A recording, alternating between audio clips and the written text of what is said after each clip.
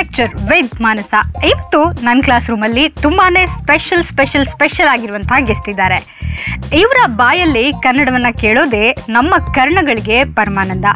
ಇವರು ಮಂಗಳೂರು ಕನ್ನಡ ಭಾಷೆಯಲ್ಲಿ ಚೊಚ್ಚಲವಾಗಿ ನಿರ್ದೇಶಿಸಿ ನಟಿಸಿರುವಂತಹ ಸಿನಿಮಾ ಮಾಡಿ, ಅರೆ, ಇದ್ಯಾರಪ್ಪ ಈ ಥರ ಸಿನಿಮಾ ಮಾಡಿದ್ದಾರೆ ಅಂತ ಇಡೀ ಚಿತ್ರರಂಗ ತನ್ನತ್ತ ತಿರುಗಿ ನೋಡುವಂತೆ ಮಾಡಿದ ಅತ್ಯಂತ ಸರಳ ವ್ಯಕ್ತಿತ್ವದ ಒಂದು ಮೊಟ್ಟೆ ಕತೆ ಖ್ಯಾತಿಯ ರಾಜ್ ಬಿ ಶೆಟ್ಟಿ ನಮ್ಮ ಜೊತೆ ಇದ್ದಾರೆ.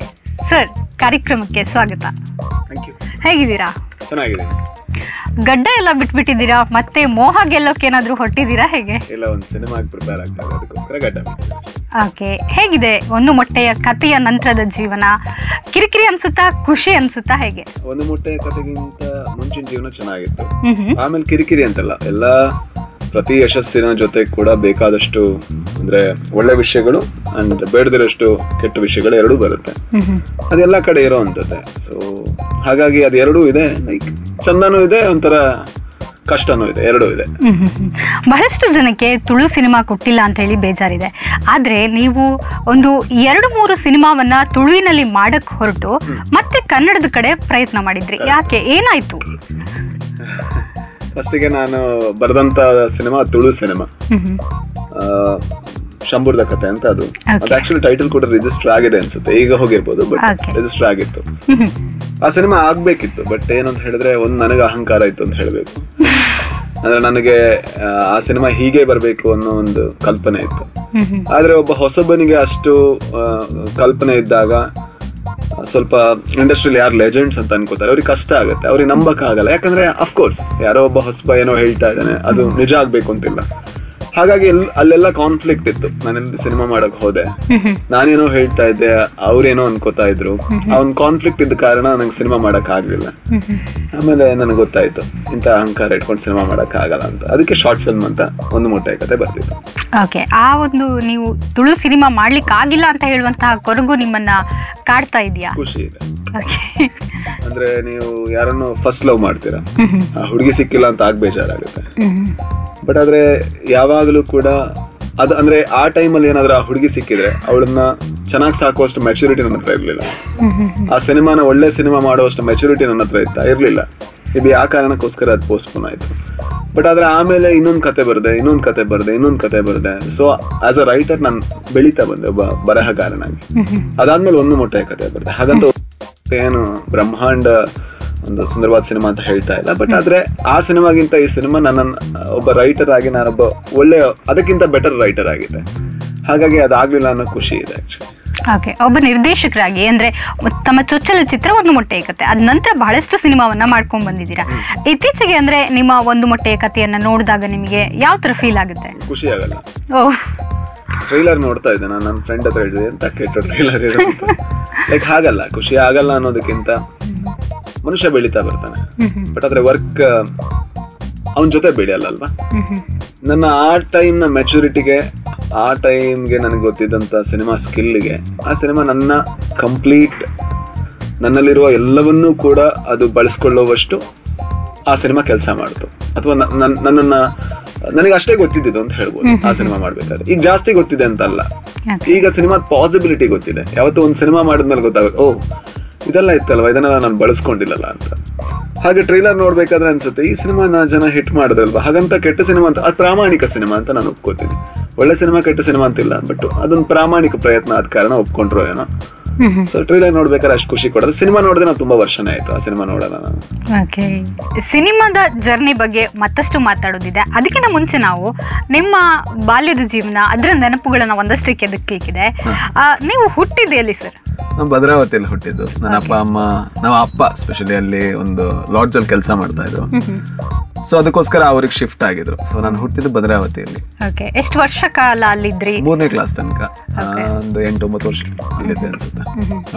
ಓಕೆ ಅಲ್ಲಿಂದ ಮತ್ತೆ ಮಂಗಳೂರು ಶಿಫ್ಟ್ ಆಗ್ತೀರಾ? ಯಾವ ಸ್ಕೂಲ್ ಜಾಯಿನ್ ಆಗ್ತೀರಾ? ಸ್ಕೂಲ್ನ ನೆನಪುಗಳು ಏನಾದರೂ ಇದೆಯಾ? ತುಂಬ ದೊಡ್ಡ ಅಂದ್ರೆ ಕೆಟ್ಟ ಸ್ಟೂಡೆಂಟ್ ಆಗಿದೆ. ಓಕೆ ಫಸ್ಟಿಗೆ ನಾನು ನನ್ನ ಜೀವನದಲ್ಲಿ ಚೈಲ್ಡ್ಹುಡ್ ಅಲ್ಲಿ ಕಳೆದಂತಹ ಅಂದ್ರೆ ಶಾಲಾ ದಿನಗಳ ನಂಗೆ ತುಂಬಾ ಖುಷಿ ಕೊಟ್ಟಂತ ಶಾಲೆ ಅಂತ ಹೇಳಿದ್ರೆ ಒಂದು ಗೌರ್ಮೆಂಟ್ ಸ್ಕೂಲ್ ನಾನು ಯಾವತ್ತೂ ಕೂಡ ಅದಕ್ಕೆ ತುಂಬಾ ಇಷ್ಟಪಡೋದು. ಅಂಡ್ ಅದರಲ್ಲಿರೋ ಅದು, ಅಂದ್ರೆ ಬೇರೆ ಕಡೆ ಪಾಠ ಕಲಿಸ್ತಾರೆ ಒಂದು ಸರ್ಕಾರಿ ಶಾಲೆ ಮಾತ್ರ ಬದುಕು ಕಲಿಸುತ್ತೆ. ನಾನು ಯಾವತ್ತೂ ಅದನ್ನ ನಂಬ್ತೀನಿ. ಯಾಕಂದ್ರೆ ಅಲ್ಲಿ ಜೀವನನೇ ಇರುತ್ತೆ, ಮತ್ತೇನೂ ಇರಲ್ಲ. ಟೀಚರ್ಗಳು ಕಷ್ಟಪಟ್ಟೇನೋ ಅಂದರೆ ಇರೋದೇ ಎರಡು ಟೀಚರ್ಗಳು. ಅವರೆಲ್ಲ ಹೊಂದಾಣಿಕೆ ಮಾಡಬೇಕು. ಆ ಮ್ಯಾನೇಜ್ಮೆಂಟ್ ಇಂದ ಹಿಡಿದು ಒಂದು ಗಿಡ ನೆಡೋದು ಕೂಡ ನೀವು ಸರ್ಕಾರಿ ಶಾಲೆಯಲ್ಲಿ ಕಲ್, ಕಲಿಬೋದು. ನಾನು ಕಲ್ತಿದ್ದು ಮೊದಲಿಗೆ ಒಂದು ಅಂಗರಗುಂಡಿಯಲ್ಲಿ ಒಂದು ಗೌರ್ಮೆಂಟ್ ಸ್ಕೂಲ್ ಇದೆ. ಅಲ್ಲಿ ಒಂದು ವರ್ಷ ಕಲಿತೆ. ನಮ್ಮ ಅಪ್ಪಂಗೆ ಅನ್ನಿಸ್ತು ಇಂಗ್ಲೀಷ್ ಮೀಡಿಯಂ ಕಲಿಬೇಕು, ಆಗ ಏನೋ ಕಲ್ತ್ಕೋತಾನೆ ಅಂತ. ಆಮೇಲೆ ಏನು ಕಲೀಲೇ ಇಲ್ಲ ನಾನು. ಸೊ ಆಮೇಲೆ ಕುಳಾಯಲ್ಲಿ ಒಂದು ಸ್ಕೂಲ್ ಇದೆ ಭಾರತಿ ಅಂತ ಇಂಗ್ಲೀಷ್ ಮೀಡಿಯಂ ಅಲ್ಲಿ ಸೇರಿಸಿದ್ರು. ಅಲ್ಲಿ ನಾಲ್ಕರಿಂದ ಹತ್ತು ಅಲ್ಲಿ ಕಲಿತೆ. ಸೊ ನಾಲ್ಕು ಅಂದ್ರೆ ಮೂರನೇ ಕ್ಲಾಸ್ ತನಕ ಅಂದ್ರೆ ಸ್ಪೆಷಲಿ ನಾಲ್ಕನೇ ಕ್ಲಾಸಲ್ಲಿ ತುಂಬಾ ಅಂದ್ರೆ ಕ್ಲಾಸಿಗೆ ಫಸ್ಟ್ ಇದ್ದೆ. ಬಟ್ ಇಂಗ್ಲೀಷ್ ಮೀಡಿಯಂ ಹಾಕಿದ ತಕ್ಷಣ ನಂಗೆ ಒಂದು ಇನ್ಫೀರಿಯಾರಿಟಿ ಶುರು ಆಯ್ತು ಓಕೆ ಯಾಕಂದ್ರೆ ನನಗೇನು ಗೊತ್ತಿಲ್ಲದಿರುವಂತ ಒಬ್ಬ ಕನ್ನಡ ಮೀಡಿಯಂ ಅಂದ್ರೆ ಕನ್ನಡ ಚೆನ್ನಾಗಿ ಗೊತ್ತಿದೆ ಬಟ್ ಆದ್ರೆ ಇಂಗ್ಲಿಷ್ ಮೀಡಿಯಂ ಅಲ್ಲಿ ಹೋದ ತಕ್ಷಣ ನನಗೆ ಕಷ್ಟ ಆಗೋಕ್ಕೆ ಶುರು ಆಯ್ತು ಆ ಎಲ್ಲಾ ಸಂಘರ್ಷಗಳು ಕೂಡ ಒಂದು ಮುಟ್ಟೆ ಕಥೆಯಲ್ಲಿ ಎಲ್ಲ ಒಂದ್ ಕಡೆ ಕಾಣಿಸಿದೆ ಅಂತ ಅನ್ಸುತ್ತೆ. ಅಂದ್ರೆ ಅವನೊಬ್ಬ ಕನ್ನಡ ಲೆಕ್ಚರರ್ ಒಬ್ಬ ಇಂಗ್ಲಿಷ್ ಲೆಕ್ಚರರ್ ಬಂದ ತಕ್ಷಣ ಒಂದ್ ಸ್ವಲ್ಪ ಇನ್ಫೀರಿಯರ್ ಫೀಲ್ ಆಗ್ತಾನೆ. ಮೇ ಬಿ ಅದೇ ನೀವೇನೇನು ನೋಡಿದಿರಾ ನೀವೇನೇನು ಬದುಕಿದಿರಾ ಅದು ಮಾತ್ರ ಸಿನಿಮಾ ಮಾಡಿದ್ರೆ ಪ್ರಾಮಾಣಿಕವಾಗಿರುತ್ತೆ ಮೇ ಬಿ ಅದಲ್ಲಿ ಬಂತು ಅಂತ ಅನ್ಸುತ್ತೆ ನನಗೆ ಅಂಡ್ ಕ್ಲಾಸಲ್ಲಿ ತುಂಬಾ ದಡ್ಡ ಅಂದ್ರೆ ಒಂದು ಟೀಚರ್ ಅಂತೂ ನಂಗೆ ಹೇಳಿದ್ರು ನೀನು ಲೈಫಲ್ಲಿ ಉದ್ಧಾರ ಆಗಲ್ಲ ಅಂತ. ಅಂದ್ರೆ ಅಂದ್ರೆ ತುಂಬಾ ರೆಗ್ಯುಲರ್ ವಿಷಯಗಳು ನಂಗೆ ಮಾಡಕ್ ಕಷ್ಟ ಆಗ್ತಿತ್ತು. ಕಾಪಿ ಯಾಕೆ ಬರಿಬೇಕು ನಂಗೆ ಗೊತ್ತಾಗ್ತಿರ್ಲಿಲ್ಲ. ನಾ ಬರಿತಿರ್ಲಿಲ್ಲ. ಎಷ್ಟೇ ಹೊಡೆದ್ರು ಬರೀತಿರ್ಲಿಲ್ಲ. ಯಾಕಂದ್ರೆ ನಂಗೆ ಇನ್ನೂ ಲಾಜಿಕ್ ಗೊತ್ತಿಲ್ಲ ಯಾಕೆ ಕಾಪಿ ಬರೀಬೇಕು? ಹ್ಯಾಂಡ್ ರೈಟಿಂಗ್ ಚೆನ್ನಾಗಿರ್ಬೇಕು. ಹ್ಯಾಂಡ್ ರೈಟಿಂಗ್ ಚೆನ್ನಾಗಿದೆ ಏನ್ ಮಾಡಕ್ಕಿದೆ? ನಂಗೆ ಗೊತ್ತಾಗಿಲ್ಲ. ಇಲ್ಲಿ ತನಕನೂ ಅರ್ಥ ಆಗಿಲ್ಲ. ಸೊ ಯಾವಾಗ್ಲೂ ಕ್ಲಾಸಿಂದ ಹೊರಗೆ ಆಗ್ತಾ ಇದ್ರು. ಪಾಸ್ ಆಗ್ತಾ ಇರ್ಲಿಲ್ಲ. ಅಂದ್ರೆ ಸ್ಪೆಷಲಿ ನಾರ್ಮಲ್ ಟೆಸ್ಟ್ಗಳಲ್ಲಿ ಸೊ ಈ ಥರದ್ದೆಲ್ಲ ಅಂದ್ರೆ ಯಾವುದೇ ಗಳಿಗೆಯಲ್ಲಿ ಕೂಡ ನಾನು ಹತ್ತನೇ ಕ್ಲಾಸ್ ತನಕ ನನ್ನ ಅಪ್ಪ ಅಮ್ಮನಿಗೆ ಒಂದು ಸಣ್ಣ ಹೋಪ್ ಕೊಟ್ಟಂತ ಸ್ಟೂಡೆಂಟ್ ಕೂಡ ನಾನಲ್ಲ. ನೀವು ಸರ್ಕಾರಿ ಶಾಲೆಯಲ್ಲಿ ಅತ್ಯುತ್ತಮ ಏನು ವಿದ್ಯಾರ್ಥಿಯಾಗಿದೆ ಆದ್ರೆ ಅದೇ ಭಾರತೀಯ ಸ್ಕೂಲ್ಗೆ ಬರುವಾಗ ನೀವು ಸ್ವಲ್ಪ ದೊಡ್ಡ ವಿದ್ಯಾರ್ಥಿ ಅಂತೇಳಿ ಆಗಿದ್ರಿ. ಈ ಚೇಂಜಸ್ ಜೊತೆಗೆ ನೀವು ಸೈನ್ ಹಾಕೋದನ್ನ ಸಹ ಕಲಿತೀರ ಪಪ್ಪ ಹೌದು. ಅದು ಆ ಬಗ್ಗೆ. ಅಪ್ಪಂದಲ್ಲ ಆಕ್ಚುಲಿ ನಾನು ಅಮ್ಮನ ಸೈನ್ ಹಾಕಿದ್ದೆ ಅಂತ. ನಾನು ಅಮ್ಮನ ಸೈನ್ ಹಾಕಿದ್ದೆ ಬೇಕಾದಷ್ಟು ಸರ್ ಅಪ್ಪ ಕಷ್ಟ ಏನೋ ಸೈನ್ ಹಾಕ್ತಾರೆ ಅದು ಅರ್ಥನೇ ಆಗಲ್ಲ. ಅದಕ್ಕೆ ಸಿಕ್ಕಿ ಬಿದ್ದಿದ್ರಾ? ಸಿಕ್ ಸಿಕ್ ಸೈನ್ ಹಾಕಿದ್ದು ನಾನು ಇದರಲ್ಲಿ ಯಾವ್ದ್ರಲ್ಲಿ ಕನ್ನಡ ಸ್ಕೂಲಲ್ಲಿ ಸೈನ್ ಹಾಕೊಂಡು ಹೋಗಿದ್ದೆ. ಏನಾಗಿತ್ತು ನಾನು ಓದ್ತಾನೆ ಇರಲಿಲ್ಲ.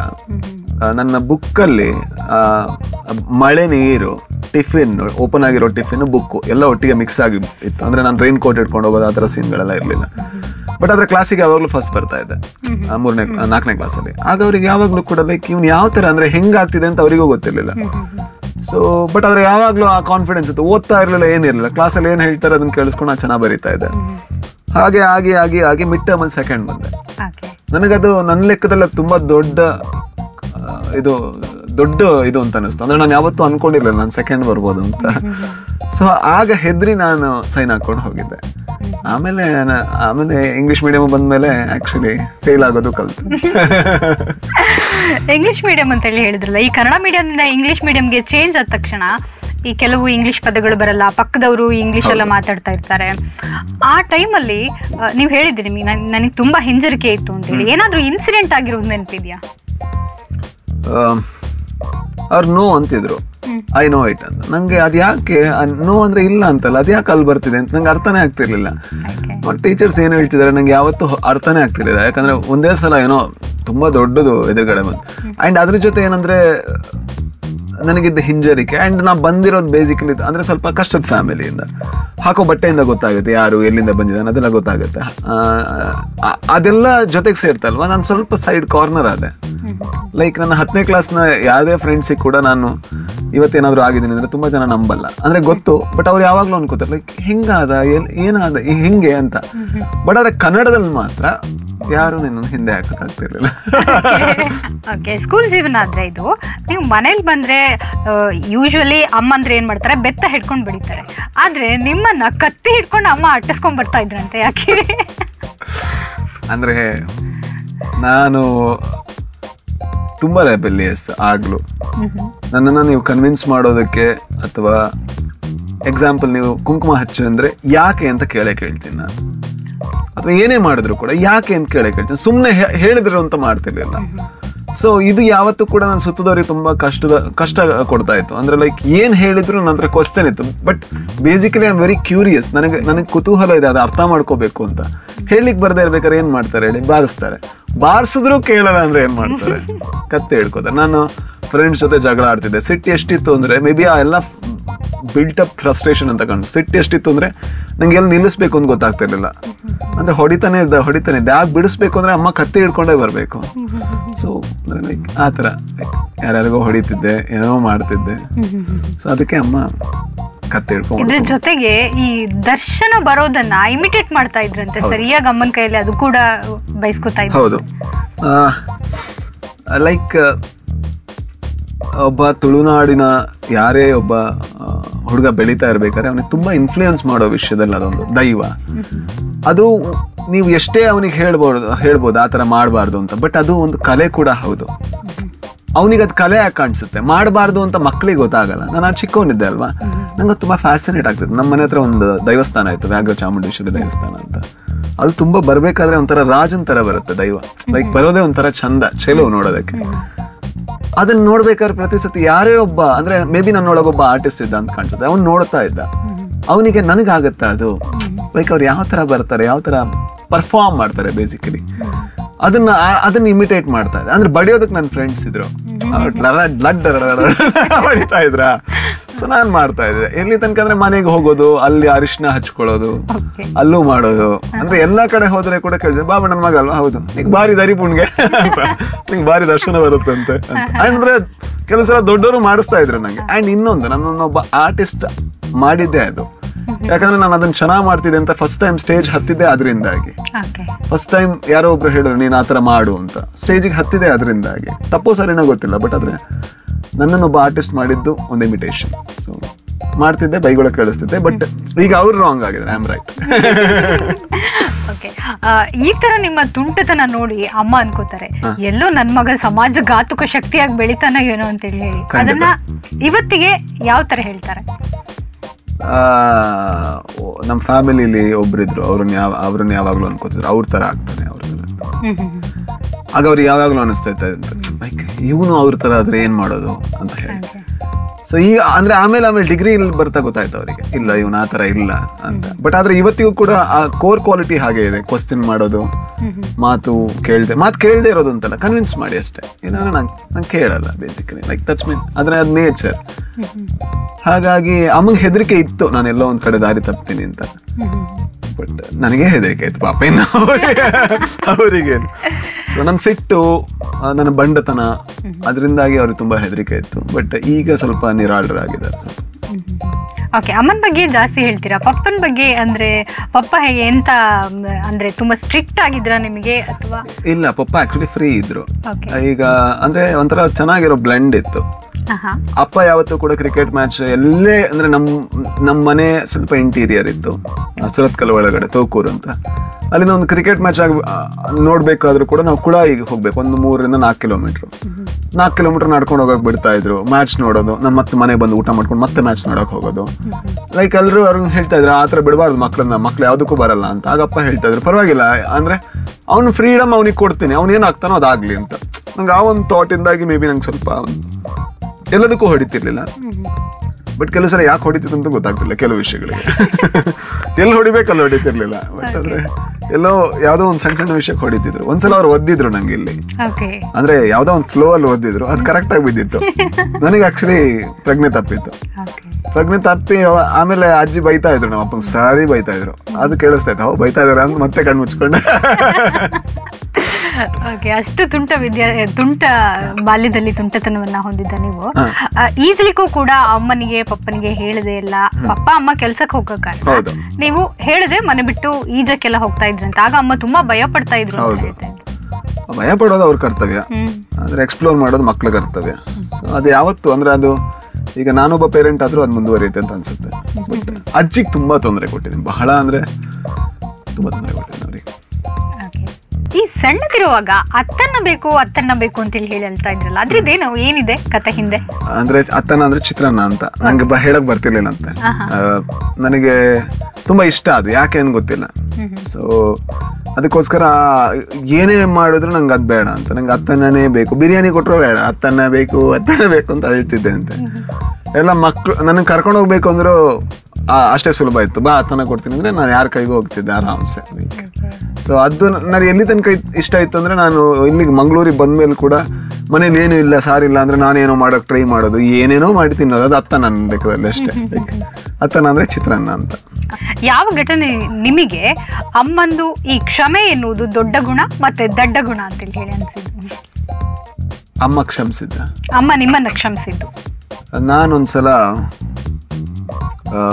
ವಾಲಿಬಾಲ್ ಆಡಬೇಕು ಅಂತ ನಂಗೆ ತುಂಬ ಹುಚ್ಚು ಡಿಗ್ರಿಲಿ. ಆಗ ನನಗೆ ಕುಡಿದ್ರೆ ಏನಾಗುತ್ತೆ ಅಂತ ಗೊತ್ತಿಲ್ಲ. ಓಕೆ. ಓಕೆ. ಸೊ ನಾನು ನನ್ನ ಫ್ರೆಂಡ್ಸ್ ಹತ್ರ ಹೇಳಿದೆ ವಾಲಿಬಾಲ್ ಆಟಾಡೋಕೆ ನಿಲ್ಲಿ ಅಂತ. ಅವ್ರು ಹೇಳಿದ್ರು ನಿಲ್ತೀವಿ ಬಟ್ ನೀವು ನನ್ನ ಜೊತೆ ಕುಡಿಬೇಕು. ನಾನು ಕುಡಿಯೋನಲ್ಲ. ಅದಕ್ಕೆ ವಾಲಿಬಾಲ್ ಆಟ ಆಡೋಕೆ ಸಿಗುತ್ತಲ್ಲ ಕುಡಿಯೋಣ ಅಂತ ಹೇಳಿ. ಆದರೆ ಆಟ ಆಡ್ತಿರಲ್ಲ ಆಮೇಲೆ ಆಟ ಆಡ್ತೀವಿ ಅಂತ. ಆಮೇಲೆ ಕುಡ್ದೆ. ಅವ್ರು ಎಷ್ಟು ಕೊಟ್ಟರು ಏನು ಕೊಟ್ಟರು ನಾ ಏನೋ ಜಿನ್ ಅಂತ ನಂಗೆ ಗೊತ್ತು. ಎಷ್ಟು ಕೊಟ್ಟರು ಅಂತ ಗೊತ್ತಿಲ್ಲ. ನಾನು ಕುಡಿದು ಆಮೇಲೆ ಲೈಕ್ ನನಗೆ ಪ್ರಜ್ಞೆ ಇರಲಿಲ್ಲ. ಆಮೇಲೆ ಮನೆಗೆ ಹೋಗ್ಬೇಕಲ್ಲ ಆಗ ಅಮ್ಮಂಗೆ ಫೋನ್ ಮಾಡಿ ಹೇಳಿದೆ ಲೈಕ್ ಅಮ್ಮ ನನಗೆ ತಲೆ ತಿರುಗ್ತಾ ಇದೆ ನಾನು ಬ್ಲಡ್ ಕೊಟ್ಟು ಸ್ವಲ್ಪ ತಲೆ ತಿರುಗಿದೆ. ಅದಕ್ಕೋಸ್ಕರ ಬೆಡ್ ಹಾಕಿರಿ ನಾನು ಬಂದು ಮಲಗ್ತೀನಿ ಅಂತ. ಸೊ ಅವ್ರು ಬೆಡ್ ಹಾಕಿದ್ರು ಮೇ ಬಿ ನಾನು ಹೋಗಿ ಮಲ್ಕೊಂಬಿಟ್ಟೆ. ಅಜ್ಜಿ ಹೇಳ್ತಿದ್ರು ಯಾಕೋ ಡೌಟ್ ಅವ್ನು ಕುಡ್ದಿದ್ದಾನ ಅಂತ? ಅಮ್ಮಂಗೆ ತುಂಬ ಕಾನ್ಫಿಡೆನ್ಸ್ ನನ್ನ ಮಗ ಯಾವತ್ತೂ ಕುಡಿಯಲ್ಲ ಅಂತ. ಬಟ್ ಕುಡಿಯಲ್ಲ, ನಾನು ಇವತ್ತಿಗೂ ಕುಡಿಯಲ್ಲ. ಬಟ್ ಆದರೆ ಅವಾಗ ಗೊತ್ತಿರಲಿಲ್ಲ ಏನಾಗುತ್ತೆ ಅಂತ. ವಾಲಿಬಾಲ್ ಆಟ ಆಡೋಕೆ ಹೋಗಿ ಏನೇನೋ ಮಾಡಿ ಹೀಗೆ ಮಾಡ್ಕೊಂಡಿದ್ದೆ. ದಡ್ಡ ಗುಣ ಅಲ್ಲ ಮೇ ಬಿ ಪಾಪ ನಂಬಿಕೆ, ಆ ಒಂದು ಆ ನಂಬಿಕೆ ಇದೆಯಲ್ವ? ಉಳಿಸ್ಕೊಂಡಿದ್ದೀನಿ ಬಟ್ ಆಗ ಗೊತ್ತಿಲ್ಲ. ಗೊತ್ತಿಲ್ಲದೆ ಯಾವ ಮಿಸ್ಟೇಕ್ ಮಾಡಿದ್ರು ಚಂದ ಅನ್ಸುತ್ತೆ ಲೈಕ್ ದಟ್ಸ್ ಫೈನ್ ಓಕೆ ಇದು ಕಾಲೇಜ್ ಜೀವನದಲ್ಲೇ ನಡೆದಂತ ನೀವು ಕಾಲೇಜ್ ಎಲ್ಲಿ ಓದಿದ್ದು? ಮತ್ತೆ ಯಾವ ಸಬ್ಜೆಕ್ಟ್ ಅನ್ನೆಲ್ಲ ತಗೊಂಡಿದ್ದೀರಿ? ನಾ ಗೋಕರ್ಣಾಥೇಶ್ವರ ಶ್ರೀ ಗೋಕರ್ಣನಾಥೇಶ್ವರ ಕಾಲೇಜ್ ಮಣ್ಣೆಗುಡ್ಡ. ಅಲ್ಲಿ ನಾನು ಪಿ ಯು ಸಿ ಮಾಡಿದೆ ಆರ್ಟ್ಸ್ ಅದರಲ್ಲಿ ಇಮ್ಯಾಜಿನ್ ಮಾಡ್ಕೋಬಹುದು ನನ್ನ ಟೆಂತ್ ಮಾರ್ಕ್ಸ್ ಎಷ್ಟಿರ್ಬೋದು ಅಂತ. ಎಷ್ಟೊಂದು ನಂಗೆ ನೆನಪಿಲ್ಲ ಬಟ್ ತುಂಬಾ ಕಮ್ಮಿ ಇತ್ತು. ಅದಾದ್ಮೇಲೆ ಅಲ್ಲಿ ನಾನು actually best outgoing student arts ಅಲ್ಲಿ. ಒಬ್ಬ ಒಳ್ಳೆ ಟೀಚರ್ ಯಾವತ್ತೂ ಕೂಡ ಜೀವನ ತುಂಬಾ ಇಂಪಾರ್ಟೆಂಟ್ ಅಂತ ಹೇಳ್ತಾರೆ. ನಂಗೆ ಒಬ್ರು ಟೀಚರ್ ಇದ್ರು ತಾರಾ ಮ್ಯಾಮ್ ಅಂತ. ಅವರಿಂದಾಗಿ ನನ್ನ ಸ್ಟಡೀಸಲ್ಲೂ ಚೆನ್ನಾಗಿ ಮಾಡಿದೆ. ಜೊತೆಗೆ ಎಕ್ಸ್ಟ್ರಾ ಕರಿಕ್ಯುಲರಲ್ಲೂ ಚೆನ್ನಾಗಿ ಮಾಡಿದೆ. ಅದಾದ್ಮೇಲೆ Roshni Nilaya school of social work ಅಲ್ಲಿ ಬಿ ಎಸ್ ಡಬ್ಲ್ಯೂ ಕಲಿ ಅಂತ ಅವರೇ ಹೇಳಿದ್ರು. ತಾರಾ ಮ್ಯಾಮ್ ಅವ್ರು ಹೇಳಿದ್ರು ಅಂತ ನಾನು ಹೋಗಿ ಜಾಯ್ನ್ ಆದೆ. ಆಮೇಲೆ ನಾನು ಅಲ್ಲಿ ಬಿ ಎಸ್ ಡಬ್ಲ್ಯೂ ಓದಿದೆ ಓದಿಲ್ಲ ಬಟ್ ಕಾಲೇಜಿಗೆ ಹೋಗ್ತಿದ್ದೆ ಓಕೆ ಅಲ್ಲಿ ಸ್ಟೇಜ್ ಹತ್ತಿದ್ದು ನೆನಪುಗಳು? ಸ್ಟೇಜು ನಾನು ಆ್ಯಕ್ಟಿಂಗ್ ಸ್ಟಾರ್ಟ್ ಮಾಡಿದ್ದು ಯಾವ ಥರ ಅಂದರೆ ನನ್ನ ಜೊತೆ ಇದ್ದವರೆಲ್ಲ ಚಿಕ್ಕಂದಿಂದ ಕೂಡ ಸ್ಟೇಜ್ ಹತ್ತೋರು, ಬೆಳ್ತಂಗಡಿಯವರು ಸುಳ್ಯ ಅವರು ಆ- ಕಡೆ ಹಳ್ಳಿಗಳಲ್ಲಿ ಯಾವ ಥರ ಅಂದರೆ ನಾಟಕ ಅಂದರೆ ತುಂಬ ಫೇಮಸ್ ಫಾರ್ಮೆಟ್ ಎಲ್ಲರೂ ಕೂಡ ಯಾವುದೋ ಒಂದು ವೇಷ ಹಾಕಿ ಸ್ಟೇಜಿಗೆ ಹತ್ತಿರ್ತಾರೆ. ನಾವು ಇಲ್ಲಿ ಅರ್ಧ ಸಿಟಿನೂ ಅಲ್ಲ, ಅರ್ಧ ಹಳ್ಳಿನೂ ಅಲ್ಲ, ಆ ಥರದಲ್ಲಿ ಬೆಳೆದಿರೋರು. ಕೋಮೆ ಅಂಚಿ ಅಂತ ನಾವು ಅನ್ನಿಸ್ಕೊಂಡೆ ನಮಗೆ ಅಭ್ಯಾಸ. ಅವರೆಲ್ಲ ಸ್ಟೇಜಲ್ಲಿ ಹೋಗಿ ಆ್ಯಕ್ಟ್ ಮಾಡ್ತಾ ಇದ್ರು. ನನಗೆ ಆಸೆ ಮತ್ತು ಕುತೂಹಲ, ಅಯ್ಯೋ, ಹೆಂಗೆ ಮಾಡ್ತಿದ್ದಾರೆ ಇವರು? ನನಗೆ ನನಗೆ ಯಾವುದಾದ್ರು ಒಂದು ರೋಲ್ ಕೊಡ್ತೀರಾ ಅಂತ ಕೇಳ್ತಿದ್ದೆ. ಅವ್ರು ಅಲ್ಲಿ ನಿಮಗೆ ಮಾಡಿದೆಯಾ ಮೊದಲು? ಇಲ್ಲ, ಮಾಡಲಿಲ್ಲ, ಆದರೆ ನೀವು ಹೇಳಿದ್ರೆ ನಾನು ಮಾಡ್ತೇನೆ. ಇಲ್ಲ, ಅವ್ರು ಹೋಗಿ ಅವರಷ್ಟಕ್ಕೆ ಮಾಡ್ತಾ ಇದ್ರು. ಹಾಗೆ ನಾವು ಮೂರು ರಿಜೆಕ್ಟೆಡ್ ಸೋಲ್ಗಳಿದ್ವಿ ಒಬ್ಬ ರಾಜೇಶ, ಅಂದ್ರೆ ಇನ್ನೊಬ್ಬ ನನ್ನ ಫ್ರೆಂಡ್ ಇನ್ನೊಬ್ಬ ಗಣೇಶ, ಇನ್ನೊಬ್ಬ ನಾನು. ನಾವು ಅನ್ಕೊಂಡು, ನಾವೇ ಮೂರು ಜನ ಸೇರಿ ಅನ್ನೋರು ಮಾಡೋಣ ಅಂತ. ಯಾರೋ ಒಬ್ಬಂಗೆ ಅರ್ಧ ಏನೋ ಸ್ಕಿಟ್ ತರ ಗೊತ್ತಿತ್ತು. ಅದು ಪ್ರಾಕ್ಟೀಸ್ ತರ ಮಾಡೋದು ಎರಡು ನಿಮಿಷದಲ್ಲಿ ಮುಗೀತು. ಸ್ಟೇಜಿಗೆ ಹೋದೆ ಅಲ್ಲ ಫಸ್ಟ್ ಟೈಮ್ ಲೈಟ್ ಫೇಸ್ ಮಾಡ್ಬೇಕಾದ್ರೆ ನಂಗೆ ಭಯನೇ ಆಗಿಲ್ಲ. ಈಗಲೂ ನಾನು ಹೆದರ್ಲಿಲ್ಲ. ಲೈಕ್ ನಂಗೆ ಭಯನೇ ಆಗಲಿಲ್ಲ. ಐ ವಾಸ್ ವೆರಿ ಕಾಮ್ ತುಂಬ ನಾರ್ಮಲ್ಗಿಂತ ಸ್ವಲ್ಪ ಜಾಸ್ತಿ ಕಾಮ್ ಇದ್ದೆ. ನಂಗೆ ಅನ್ನಿಸ್ತು ಇಷ್ಟೇನಾ ಅಂತ. ಆ್ಯಂಡ್ ಫಸ್ಟ್ ಯಾಕೆ ಮೂರು ನಿಮಿಷ ಅಂದ್ಕೊಂಡು ಮಾಡಿದ್ದು ಒಂದು ಹನ್ನೆರಡು ನಿಮಿಷ ಮಾಡಿದ್ವಿ. ಆ್ಯಂಡ್ ವರ್ಕ್ ಆಗ್ತಿತ್ತು ಕಾಮಿಡಿ ಚೆನ್ನಾಗಿ ವರ್ಕ್ ಆಗ್ತಿತ್ತು. ಆಗ ನಾನು ಅನ್ಕೊಂಡೆ ಮಾಡ್ಬೋದು ಹಂಗಾರೆ ಅಂತ. ಅವತ್ತಿಂದ maybe first year second year third year ಮೂರು ವರ್ಷದಲ್ಲೂ ಕಾಲೇಜ್ ಡ್ರಾಮಾದಲ್ಲಿ ಬೆಸ್ಟ್ ಆಕ್ಟರ್ ನಾನೇ ಗೆದ್ದೆ. ಸೊ ತುಂಬಾ ವರ್ಷದಿಂದ ಆಕ್ಟ್ ಮಾಡಿದವ್ರು ಯಾರು ಕೂಡ ಅವ್ರ ಇದಾಗಿ. ಮೇ ಬಿ ಅದಕ್ಕೊಂದು ರೀಸನ್ ಏನಿರ್ಬೋದು ಅಂದ್ರೆ ನಮ್ಮ ಅಪ್ಪ ಅಮ್ಮ ಇಬ್ರು ಕೆಲ್ಸಕ್ಕೆ ಹೋಗ್ತಾ ಇದ್ರು. ಅವ್ರ ಕೆಲ್ಸಕ್ಕೆ ಹೋಗ್ಬೇಕಾದ್ರೆ ನಾನು ಸಿನಿಮಾ ನೋಡೋದಂದ್ರೆ ಸಿಕ್ಕಾಪಟ್ಟೆ ಹುಚ್ಚು. ಸಿನಿಮಾ ನೋಡಿ ವಿಷ್ಣುವರ್ಧನ್ ಅಳ್ತಾ ಇದ್ರೆ ನಾನು ಮನೆಗೆ ಹೋಗಿ ನಾನು ಕನ್ನಡಿ ಮುಂದೆ ನಿಂತ್ಕೊಂಡು ನಾನು ಆಡೋದಕ್ಕೆ ಪ್ರಯತ್ನ ಪಡ್ತಾ ಇದ್ದೆ. ಆಗ ನಾನು ಅನ್ಕೋತಾ ಇದ್ದೆ ಅವ್ರು ಹೇಗೆ ಹೇಳ್ತಾರೆ? ಅವ್ರು ಹೇಗೆ ನಗ್ತಾರೆ? ನಾನು ಹೆಂಗೆ ಕಾಣಿಸ್ತೀನಿ ಹತ್ರ? ನಾನೇ ಮೇ ಬಿ ಅದರಿಂದಾಗಿ ಆ್ಯಕ್ಟಿಂಗ್ ಎಲ್ಲೋ ಡೆವಲಪ್ ಆಯಿತು ಏನೋ ಗೊತ್ತಿಲ್ಲ ಬಟ್ ಅಷ್ಟೇ ಮತ್ತೆ ಅದೇ ಅದನ್ನ ಬಿಟ್ಟು ಬೇಸ್ ಏನೂ ಇಲ್ಲ. ಓಕೆ ನೀವು ಕಾಲೇಜಲ್ಲಿ ಎಂಥ ವಿದ್ಯಾರ್ಥಿಯಾಗಿದ್ರಿ ಮತ್ತೆ ರ್ಯಾಗಿಂಗ್ ಏನಾದರೂ ಮಾಡಿದ್ದೀರಾ? ನೋಡಿ ರ್ಯಾಗಿಂಗ್ ಸಪೋರ್ಟ್ ಮಾಡ್ದಂಗೆ ಆಗುತ್ತೆ. ಮಾಡಿಲ್ಲ ಅಂದರೆ ಸುಳ್ಳಾಗುತ್ತೆ. ಮಾಡಿದ್ದೆ ಬಟ್ ಅದ್ರ ಬಗ್ಗೆ ಜಾಸ್ತಿ ಪಾಪ. ಅದನ್ನ ತುಂಬಾ ಒಳ್ಳೆ ವಿಷಯ ತರ ಹೈಲೈಟ್ ಮಾಡೋದು ಬೇಡ. ಆಗ ಹುಂಬತನ ಮೇ ಬಿ ನಂದು. ಬಟ್ ತುಂಬಾ ಜನರಿಗೆ ತೊಂದರೆ ಕೊಟ್ಟಿದ್ದೇನೆ ಕಾಲೇಜಲ್ಲಿ ಅಂಡ್ ಅದ್ರ ಬಗ್ಗೆ ಬೇಜಾರು ಅನ್ನೋದಕ್ಕಿಂತ ಅವ್ರಿಗೆ ಕಷ್ಟ ಆಗಿದೆ ಅನ್ನೋ ಬೇಜಾರಿದೆ. ಬಟ್ ಆದ್ರೆ ಮೇ ಬಿ ಅಂಥ ಮಿಸ್ಟೇಕ್ಗಳೇ ನನ್ನನ್ನು ಇವತ್ತು ಯಾವ ಪರ್ಸನ್ ನಾನು ಅದನ್ನು ನನ್ನ ಮಾಡ್ತು ನನ್ನ ಶೇಪ್ ಮಾಡ್ತು. ಹಾಗಾಗಿ ಅದ್ರ ಬಗ್ಗೆ ನನಗೇನು ರಿಗ್ರೆಟ್ಸ್ ಇಲ್ಲ. ಬಟ್ ಇಬ್ಬರನ್ನ ಕಾಲೇಜಿಂದ ಬಿಡಿಸಿದ್ದೀನಿ ಲೈಕ್ ಕಷ್ಟ ಕೊಟ್ಟಿದ್ದೀನಿ ಲೆಕ್ಚರರ್ಸ್ಗೆಲ್ಲ ಜಗಳ ಆಡಿದ್ದೀನಿ ಬೈದಿದ್ದೀನಿ ಎಲ್ಲ ಮಾಡಿದ್ದೀನಿ. ಬಟ್ ಅದು ಒಳ್ಳೆ ವಿಷಯ ನಂಗೆ ಯಾವತ್ತೂ ಅನ್ಸಲ್ಲ. ನಿಮಗೆ ಯಾರಾದ್ರೂ ರ್ಯಾಗಿಂಗ್ ಮಾಡಿದ್ರು? ಮಾಡಿದ್ದಾರೆ. ಓಕೆ ಅದರ ಬಗ್ಗೆ? ಅದ್ರ ಬಗ್ಗೆ ನಂಗೆ ಖುಷಿ ಇದೆ. ಒಬ್ಳು ಹುಡುಗಿ ರ್ಯಾಗಿಂಗ್ ಮಾಡಿದ್ದು. ಅವಳ ಹೆಸರು ತಗೊಳ್ಳಿ ಪರವಾಗಿಲ್ಲ ಪಾಪ. ಅಂದ್ರೆ ಈಗಲೂ ಒಳ್ಳೆ. ಫಹಿಮಾ ಫೈಸಲ್ ಅಂತ ಬಾ ಇಲ್ಲಿ ಅವಳು ತುಂಬಾ ಶಾರ್ಟ್ ನಾನು ಜೂನಿಯರ್ ಅಂತ ನಾನು ಕಣ್ಣಲ್ಲಿ ಕಂಡಿಟ್ಟು ನೋಡು. ಲೈಕ್ ಆಗಂತರ ಆಚಿಕೆ ಅಲ್ಲ. ಪಿ ಯು ಸಿ ಆದ ಹುಡುಗ. ಟೈಮ್ ಕೊಡ್ತಾ ಇದ್ಲು ಮೂವತ್ತು ಸೆಕೆಂಡ್ ನೋಡ್ಬೇಕು ನೀನು ಅಂತ. ಶಿ ವಾಸ್ ವೆರಿ ಕಾನ್ಫಿಡೆಂಟ್ ಯಾಕಂದ್ರೆ ಅವ್ರ ಸುತ್ತ ಹುಡುಗರೆಲ್ಲ ಇದ್ರು. ನೋಡೋ ನೋಡೋ ಅಂತ. ನಮಗೆ ಅದೊಂಥರ ರ್ಯಾಗಿಂಗ್ ಅಲ್ಲ, ಒಂಥರ ಚಂದ ರ್ಯಾಗಿಂಗ್ ಅದು. ಹುಡುಗಿರ ನೋಡೋದಕ್ಕೆ ಕೋರ್ಸ್ ಸೊ ನೋಡಕ್ ಆಗ್ತಿರ್ಲಿಲ್ಲ. ಬಟ್ ಆಮೇಲೆ ಆಮೇಲೆ ಅವ್ರಿಗೆ ಹಿಡ್ಕೊಂಡು ನಾವು ರ್ಯಾಗ್ ಮಾಡ್ತಾರೆ ಸೀನಿಯರ್ಸ್ ಸ್ವಲ್ಪ ಬೇರು ಊರಿದ ಮೇಲೆ ಹಾಗೆ. ಬಟ್ ಮಾಡಿದ್ದಾರೆ. ನಿಮ್ಮ ಈ ತಂಟೆ ತಕರಾರುಗಳನ್ನೆಲ್ಲ ನೋಡಿ ಕಾಲೇಜಲ್ಲಿ ಟೀಚರ್ಸ್ ಎಲ್ಲ ಏನು ಹೇಳ್ತಾ ಇದ್ರು? ನಾನು ಯಾಕೆ ಸಸ್ಪೆಂಡ್ ಮಾಡಿಲ್ಲ ಅಂತ ನಂಗೆ ತುಂಬಾ ಡೌಟ್ ಮೊನ್ನೆ ಕೂಡ ಕೇಳಿದೆ ಟೀಚರ್ಸ್ ಡೇ ಯಾಕೆ ನಾನು ಸಸ್ಪೆಂಡ್ ಮಾಡಲಿಲ್ಲ ನೀವು ಅಂತ? ಮೇ ಬಿ ಅವ್ರು ತುಂಬಾ ಒಳ್ಳೆಯವರಿದ್ರು. ನಂತರ ತುಂಬಾ ದಡ್ರನ್ನ ಅವ್ರು ನೋಡಿದ್ದಾರೆ. ನಮ್ಮ ಲೆಕ್ಕದಲ್ಲಿ ಆ ಏಜಲ್ಲಿ ನಾವು ಒಬ್ಬರೇ ಲೈಕ್ ಯುನೀಕ್ ಪೀಸ್ ಲೈಕ್ ಪ್ರಪಂಚದಲ್ಲಿ ಎಲ್ಲೂ ಇಲ್ಲದೆ ಇರೋರು. ನಾವೇನೇನೋ ಮಾಡೋಕ್ಕೆ ಹೋಗ್ತೀವಿ. ಬಟ್ ಅವ್ರು ನೋಡಿರ್ತಾರೆ. ಗೊತ್ತಾಗುತ್ತೆ ಅವ್ರಿಗೆ ಇದು ಹಿಂಗಿದೆ, ಇನ್ನೊಂದು ಸ್ವಲ್ಪ ವರ್ಷ ಆದ್ಮೇಲೆ ಸರಿ ಆಗ್ಬೋದು. ಬಟ್ ಮೊನ್ನೆ ಟೀಚರ್ಸ್ ಡೇ ಹೋಗ್ಬೇಕಾದ್ರೆ ಪಾಪ ಒಬ್ಬರು ಲೆಕ್ಚರ್ ನಂಗೆ ಆ್ಯಕ್ಚುಲಿ ಎಲ್ಲ ಒಂದು ಕಡೆ ನೋವು ಆಯ್ತು ಅವ್ರು ಹೇಳ್ತಿದ್ರು ಅವ್ನ ಜೊತೆ ಮಾತಾಡೋದಕ್ಕೆ ನಂಗೆ ಹೆದರಿಕೆ ಆಗ್ತಿತ್ತು. ಯಾಕಂದ್ರೆ ಯಾವಾಗ ಯಾವ ಥರ ರಿಯಾಕ್ಟ್ ಮಾಡ್ತಾನೆ ಅಂತ ಗೊತ್ತಿರಲಿಲ್ಲ ಅಂತ. ಅವ್ರು ಬಂದು ಹೇಳ್ತಿದ್ದಾರೆ ಅಂತಂದ್ರೆ ಇವತ್ತು ಸಾಯಂಕಾಲ ಡ್ಯಾನ್ಸ್ ಪ್ರಾಕ್ಟೀಸ್ಗೆ ನಿಲ್ಬೋದ ನೀನು? ಅಂದರೆ ಒಬ್ಬ ಟೀಚರ್ ಬಂದು ಒಬ್ಬ ಸ್ಟೂಡೆಂಟ್ ಹತ್ರ ಅಷ್ಟು ಅಂದರೆ ಸೌಜನ್ಯಯುತವಾಗಿ ಕೇಳಬೇಕು. ಇಲ್ಲಾಂದರೆ ಅವ್ನು ರಿಯಾಕ್ಟ್ ಆಗ್ತಾನೆ ಅಂದರೆ ನನಗೆ ಎಷ್ಟು ಪ್ರಾಬ್ಲಮ್ ಇರ್ಬೋದು ನಾನು ಅಂದ್ಕೊಂಡೆ ಲೈಕ್ ಬೇಜಾರಾಯಿತು ಬಟ್ ಕಷ್ಟ ಕೊಟ್ಟಿದ್ದೀನಿ ಟೀಚರ್ಸಿಗೆಲ್ಲ ಪಾಪ. ಅಂದ್ರೆ ತುಂಬಾ ಅನ್ಪ್ರಿಡಿಕ್ಟೇಬಲ್ ಮೇ ಬಿ ಏಜ್ ಕೂಡ ಹತ್ತೊಂಬತ್ತು ಹತ್ತೊಂಬತ್ತರಿಂದ ಇಪ್ಪತ್ತೊಂದು. ಆ ಏಜ್ ಕೂಡ ತುಂಬಾ ಅನ್ಪ್ರೆಡಿಕ್ಟೇಬಲ್ ನೀವು ಪ್ರೆಡಿಕ್ಟ್ ಮಾಡೋಕ್ಕಾಗಲ್ಲ ಇದಕ್ಕೆ ಹಿಂಗೆ ರಿಯಾಕ್ಟ್ ಮಾಡ್ತಾನೆ ಯಾವುದೋ ಸಣ್ಣ ವಿಷಯಕ್ಕೆ ಏನೋ ರಿಯಾಕ್ಟ್ ಮಾಡೋದು ಜಗಳ ಆಡೋದು ಯಾರಿಗೋ ಹೊಡಿಯೋಕೆ ಹೋಗೋದು. ಓಕೆ ಆ ಬದಲಾವಣೆ ನೆಕ್ಸ್ಟ್ ಈಗ ನಿಮ್ಮಂತ ಈ ವ್ಯಕ್ತಿತ್ವದಲ್ಲಿ ರೂಪಿಸಿದೆ ತುಂಬ ತುಂಬಾ ಸರಳವಾಗಿದ್ದೀರಾ? ಈ ಚೇಂಜಸ್ ನಿಮಗೆ ಯಾವಾಗ ಆಯ್ತು? ಒಂದ್ಸಲ ಗೊತ್ತಾಗುತ್ತಲ್ಲ ನಿಮ್ಗೆ ನೀವು ನೀವೇನು ಅಲ್ಲ ಅಂತ. ಲೈಕ್ ಈಗ ನನ್ನ ತಮ್ಮ ಇದ್ದಾನೆ. ಅವನಿಗೂ ಅಷ್ಟೇ ಏಜು ಅವನು ಅಣಿ ನಂಗೊಬ್ಳು ಹುಡುಗಿ ಇಷ್ಟ ಅಂತ ಹೇಳ್ತಾನೆ. ಅವನು ಚಿಕ್ಕವನ್ ಥರನೇ ಕಾಣಿಸಿದ್ದಾನೆ ನಂಗೆ. ಅವ್ನು ಡಿಗ್ರಿ ಪಾಸ್ ಆಗಿದ್ದಾನೆ. ಆಗ ನಾನು ಅನ್ಕೊಂಡಿದ್ದೆ, ಈ ಟೈಮಲ್ಲಿ ನಾನು ಹಿಂಗೆ ಹೇಳ್ತಿದ್ದೆ. ಬಟ್ ಆದ್ರೆ ನಾನು ಅನ್ಕೊಂಡಿದ್ದೆ ತುಂಬ ಮೆಚೋರ್ಡ್ ಆಗಿ ಹೇಳ್ತಿದ್ದೀನಿ ಬಟ್ ಇವನು ಹೇಳ್ತಿದ್ದಾನೆ, ನಂಗೆ ಯಾಕೋ ನಗು ಬರ್ತಿದೆ ಅಂತ. ಆಗ ಗೊತ್ತಾಗುತ್ತೆ ಓಕೆ ಮೇ ಬಿ ನಾನು ಆಗ ತುಂಬ ಬಾಲಿಶವಾಗಿ ಯಾರಿಗೋ ಕಾಣಿಸಿರ್ಬೋದು. ತುಂಬ ಎಳಸಾಗಿ ಕಾಣಿಸಿರ್ಬೋದು. ನನ್ನ ಜಗಳಗಳು. ಮೇ ಬಿ ಟೀಚರ್ಸಿಗೆ ಹಾಗೆ ಕಾಣಿಸ್ತಿರ್ಬೋದು. ನನ್ನ ಲೆಕ್ಕದಲ್ಲಿ ನಾನು ತುಂಬ ಸೀರಿಯಸ್ ಆಮೇಲೆ ಗೊತ್ತಾಗುತ್ತೆ, ನೀವು ಸೀರಿಯಸ್ ಅಲ್ಲ. ಪ್ರಪಂಚದ ದೊಡ್ಡ ಜೋಕಲ್ಲಿ ನೀವು ಒಬ್ಬರು ಅಂತ. ಆಗ ನೀವು ಅನ್ಸುತ್ತೆ ಓಕೆ ಜೋಕ್ ಅಷ್ಟೇ ನಾವು. ನಾವು ನಾವು ನಮ್ಮಷ್ಟಕ್ಕೆ ಬದುಕೋಣ, ಚೆನ್ನಾಗಿರೋಣ. ಸುಮ್ಮನೆ ಹೋಗೋಣ ಅಷ್ಟೇ. ಅದಾದ್ಮೇಲೆ ಸರಳವಾಗಿರೋದು ಅಂತಲ್ಲ. ಬಟ್ ಜಾಸ್ತಿ ಕಾಣಿಸ್ಕೊಳ್ಲಿಲ್ಲ ಅಂದರೆ ಒಳ್ಳೇದು. ಯಾರಿಗೂ ಕಾಣಿಸ್ಕೊಳ್ಳಿಲ್ಲ ಅಂದರೆ ಸ್ವಲ್ಪ ಸೈಡ್ ಆಗಲಿದ್ರೆ. ಯಾರಿಗೆ ಅಟೆನ್ಷನ್ ಬೇಕೋ ಅವ್ರು ತಗೋಬೋದು ಅಷ್ಟೇ. ಒಂದು ಪಟ್ಟೆ ಕತೆ ಸಿನಿಮಾ ಮಾಡೋ ಮುಂಚೆ ನಿಮ್ಮ ಕಾಲೇಜ್ಗೆ ಹೋಗ್ತಾ ಇರುವಾಗ ಕೂದಲು ಚೆನ್ನಾಗೇ ಇತ್ತು. ಹೌದು. ಆವಾಗೆಲ್ಲ ಭಯಂಕರ ಜೆಲ್ಲೆಲ್ಲ ಹಾಕಿ ಸ್ಟೈಲಾಗಿ ಹೋಗ್ತಾ ಇದ್ರಂತೆ. ಅಮ್ಮ ಹೇಳಿದ್ರ? ಹೌದು ಅದು ಆ ಟೈಮ್ ಅಲ್ವಾ? ಲೈಕ್ ಜೆಲ್ ಹಾಕ್ತಿದೆ ಈಗ ಜೆಲ್ ಹಾಕ್ತಿದೆ ಅಂದರೆ ಅದನ್ನ ನೋಡಿ ತುಂಬಾ ಜನ ನಗ್ಬೋದು. ಬಟ್ ಹಾಕ್ತಾ ಇರೋ ಸ್ವಲ್ಪ ಜಾಗ್ರತೆ. ನಿಮ್ದೇನು ಬರುತ್ತೆ. ಲೈಕ್ ಅದನ್ನ ಹಿಂಗೆ ಬಾಚಿಂಗ್ ಸ್ಟ್ರೈಟ್ ಎಲ್ಲ ಮಾಡ್ಕೊಂಡು ಹೋಗ್ತಿದೆ ಆ ಒಂದ್ಸಲ ಯಾರೋ ಹೇಳಿದ್ರು ಏ ನಿನ್ ತಲೆಯಲ್ಲಿ ಖಾಲಿ ಖಾಲಿ ಕಾಣಿಸ್ತಾ ಇದೆ. ನಾನೇ ಚಾನ್ಸೇ ಇಲ್ಲ ಅಂತ.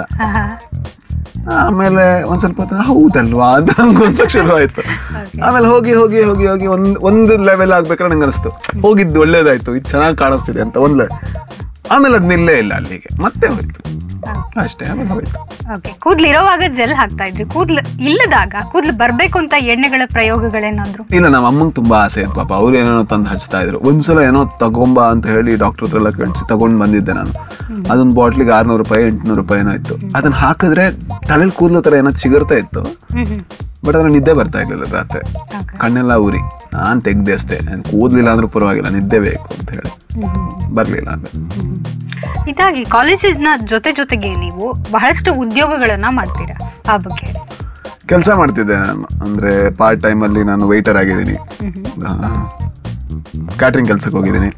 ಮತ್ತೆ ice cream cutting security guard hotel cleaner ಮತ್ತೆ ಒಂದು ಬ್ರೆಡ್ ಫ್ಯಾಕ್ಟ್ರಿಲಿ ರೈಟರ್ ಸೊ ಈ ಥರ ಮಾಡಿದ್ದೀನಿ ತುಂಬ ಕೆಲಸಗಳು. ಅಂದರೆ ನನಗೆ ಯಾವತ್ತೂ ಕೂಡ ಒಂದು ಆ ಏಜ್ ಆದಮೇಲೆ ನಂಗೆ ಅನಿಸ್ತಾ ಇತ್ತು. ಅಪ್ಪ ಅಮ್ಮನ ಹತ್ರ ದುಡ್ಡು ಕೇಳಬಾರ್ದು ಖರ್ಚಿಗೆ ಅಂತ. ಅವ್ರು ಅವ್ರದ್ದೇ ಆದ ಸಮಸ್ಯೆಗಳಲ್ಲಿದ್ರು ಪಾಪ. ಅವ್ರೊಂದು ಮನೆ ಕಟ್ಕೊಂಡು ಅದ್ರ ಸಾಲ ತೀರಿಸೋದು ಅದ್ರ ಒದ್ದಾಟಗಳು ಅದರಲ್ಲೇ ಇದು. ಮತ್ತು ನಾನು ಹೋಗಿ ಆ ಪಾಪ ಬಸ್ಸಿಗೆ ಕಾಸು ಕೊರ್ಲಿ ಅಂತ ಕೇಳೋದು ನಂಗೆ ಇಷ್ಟ ಆಗ್ತಾ ಇಲ್ಲ. ಅವ್ರು ಕೊಟ್ಟರು ನಾನು ತಗೋತಾ ಇರಲಿಲ್ಲ. ಸ್ಟಡಿ ಟೂರ್ಗೆ ಮತ್ತು ಇದಕ್ಕೆಲ್ಲ ನಾನು ಆದಷ್ಟು ಹೊಂದಿಸೋದಕ್ಕೆ ಪ್ರಯತ್ನ ಪಡ್ತಾ ಇದ್ದೆ. ಅಷ್ಟೇ. ಈ ಬೈಕಂಪಾಡಿಯಲ್ಲಿ ಮಳೆ ಬರ್ತಾ ಇದ್ರು ಎರಡು ಗಂಟೆ ರಾತ್ರಿ ತನಕ ಪಾತ್ರೆ ತೊಳೆಯೋ ಸಹ ಕೆಲಸನೂ ಮಾಡಿದ್ದೀರಾ? ಹೌದು. ಅದು ನನ್ನ ಫ್ರೆಂಡ್ ಒಬ್ರು ಇದ್ರು ಉದಯ್ ಅಂತ. ಅವ್ರು ನನ್ನ ಜೊತೆ ನಾನು ವೆಯ್ಟರ್ ಆಗಿರ್ಬೇಕಾದ್ರೆ ಒಂದು ಕಡೆ ಕುಕ್ಕ ಕೆಲಸ ಮಾಡಿದ್ರು. ಅವ್ರು ಹೇಳಿದ್ರು ಬೈಕಂಬಾಡಿಯಲ್ಲಿ ನಾನೊಂದು ರೋಡ್ ಸೈಡ್ ಒಂದು ಚೈನೀಸ್ ಫಾಸ್ಟ್ ಫುಡ್ ಇರುತ್ತಲ್ಲ ಅಲ್ಲಿ ಓಪನ್ ಮಾಡಬೇಕು ಅಂತಿದ್ದೀನಿ ಅಂತ. ಅದಕ್ಕೆ ನಾನು ಹೇಳಿದೆ ಓಕೆ ನಾನು ಬರ್ತೀನಿ ಕೆಲಸಕ್ಕೆ ಅಂತ.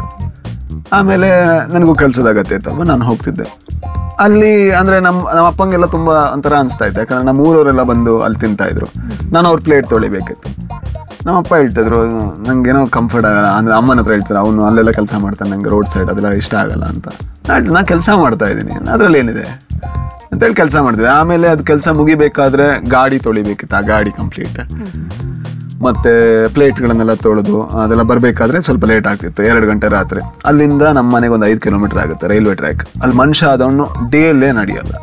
ಬಟ್ ನಾನು ನಡ್ಕೊಂಡು ಹೋಗ್ತಿದ್ದೆ ಮನೆಗೆ. ಮಳೆ ಬರಲಿ ಏನೇ ಬರಲಿ ನಡ್ಕೊಂಡು ಹೋಗ್ತಿದ್ದೆ. ಒಂದು ಮೊಬೈಲಿಗೆ ಪ್ಲಾಸ್ಟಿಕ್ ಕವರ್ ಇತ್ತು. ಹಾಕಿ ಸುತ್ತಿ ಜೇಬಲ್ ಇಟ್ಕೊಂಡು ನಡ್ಕೊಂಡು ಹೋಗೋಣ. ಇದು ಕಾಲೇಜು ಜೀವನದ ಉದ್ಯೋಗ ಆದ್ರೆ ಕಾಲೇಜ್ ಕಂಪ್ಲೀಟ್ ಮಾಡಿ ನೀವು ಭಟ್ಕಳದಲ್ಲಿ ಒಂದು ಉದ್ಯೋಗಕ್ಕೆ ಸೇರ್ಕೋತೀರಾ? ಬ್ರಹ್ಮಾವರದಲ್ಲಿ.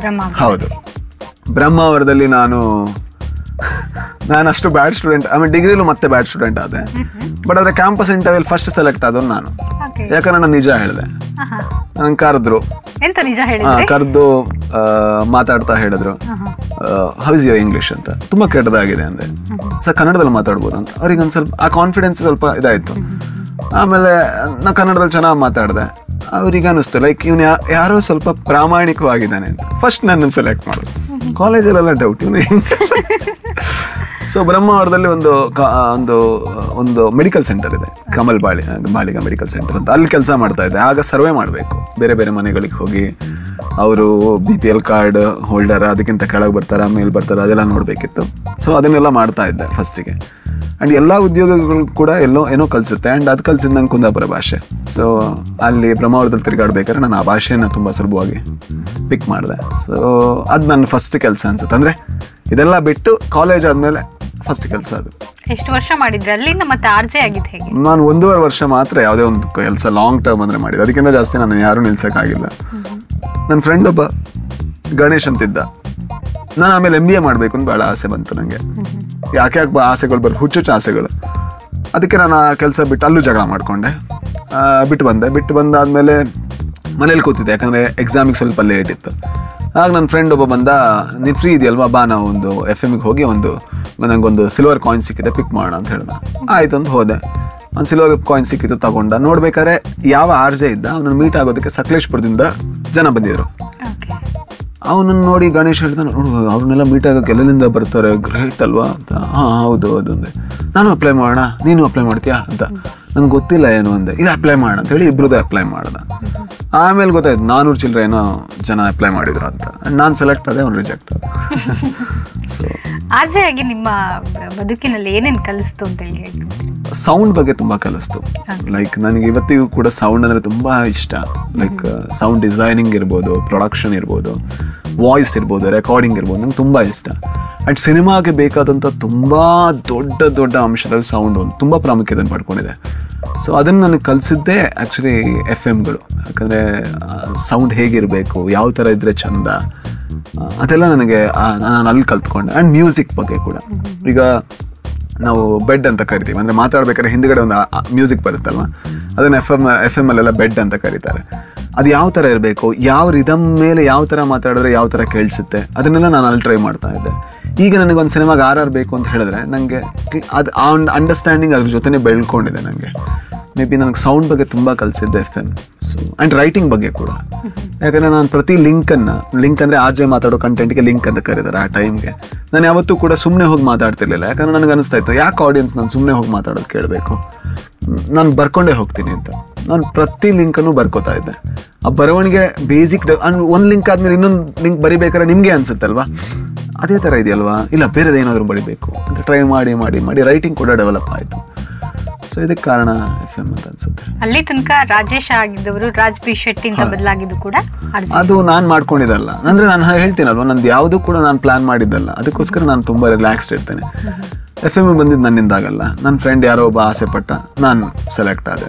ಆ್ಯಂಡ್ ನನ್ಗೊಬ್ರು ಬಾಸ್ ಇದ್ರು. ಅವರು ಏನು ಹೆಸರು ನಿಂದು? Sir Rajesh B. ಏಯ್ ಏನು ಹೆಸರು ಅದು? ಕೆಟ್ಟದಾಗಿದೆ ಅಂದರು.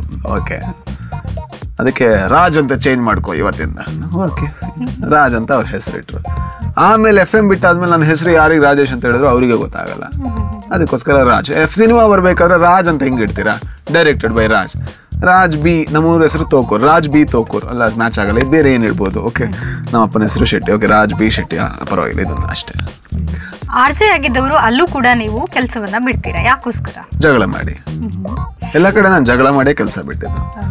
ನನ್ನ ತಾಯಿ ಜೊತೆ ಜಗಳ ಮಾಡಿ ಸ್ಟಾರ್ಟ್ ಆಗಿದ್ದು ಆಮೇಲೆ ಅಜ್ಜಿ ಆಮೇಲೆ ಅಪ್ಪ ಆಮೇಲೆ ಕೆಲಸ ಆಮೇಲೆ ಯಾರು ಬಾಸ್ಗಳಿದ್ದಾರೆ ಅವ್ರ ಜೊತೆ.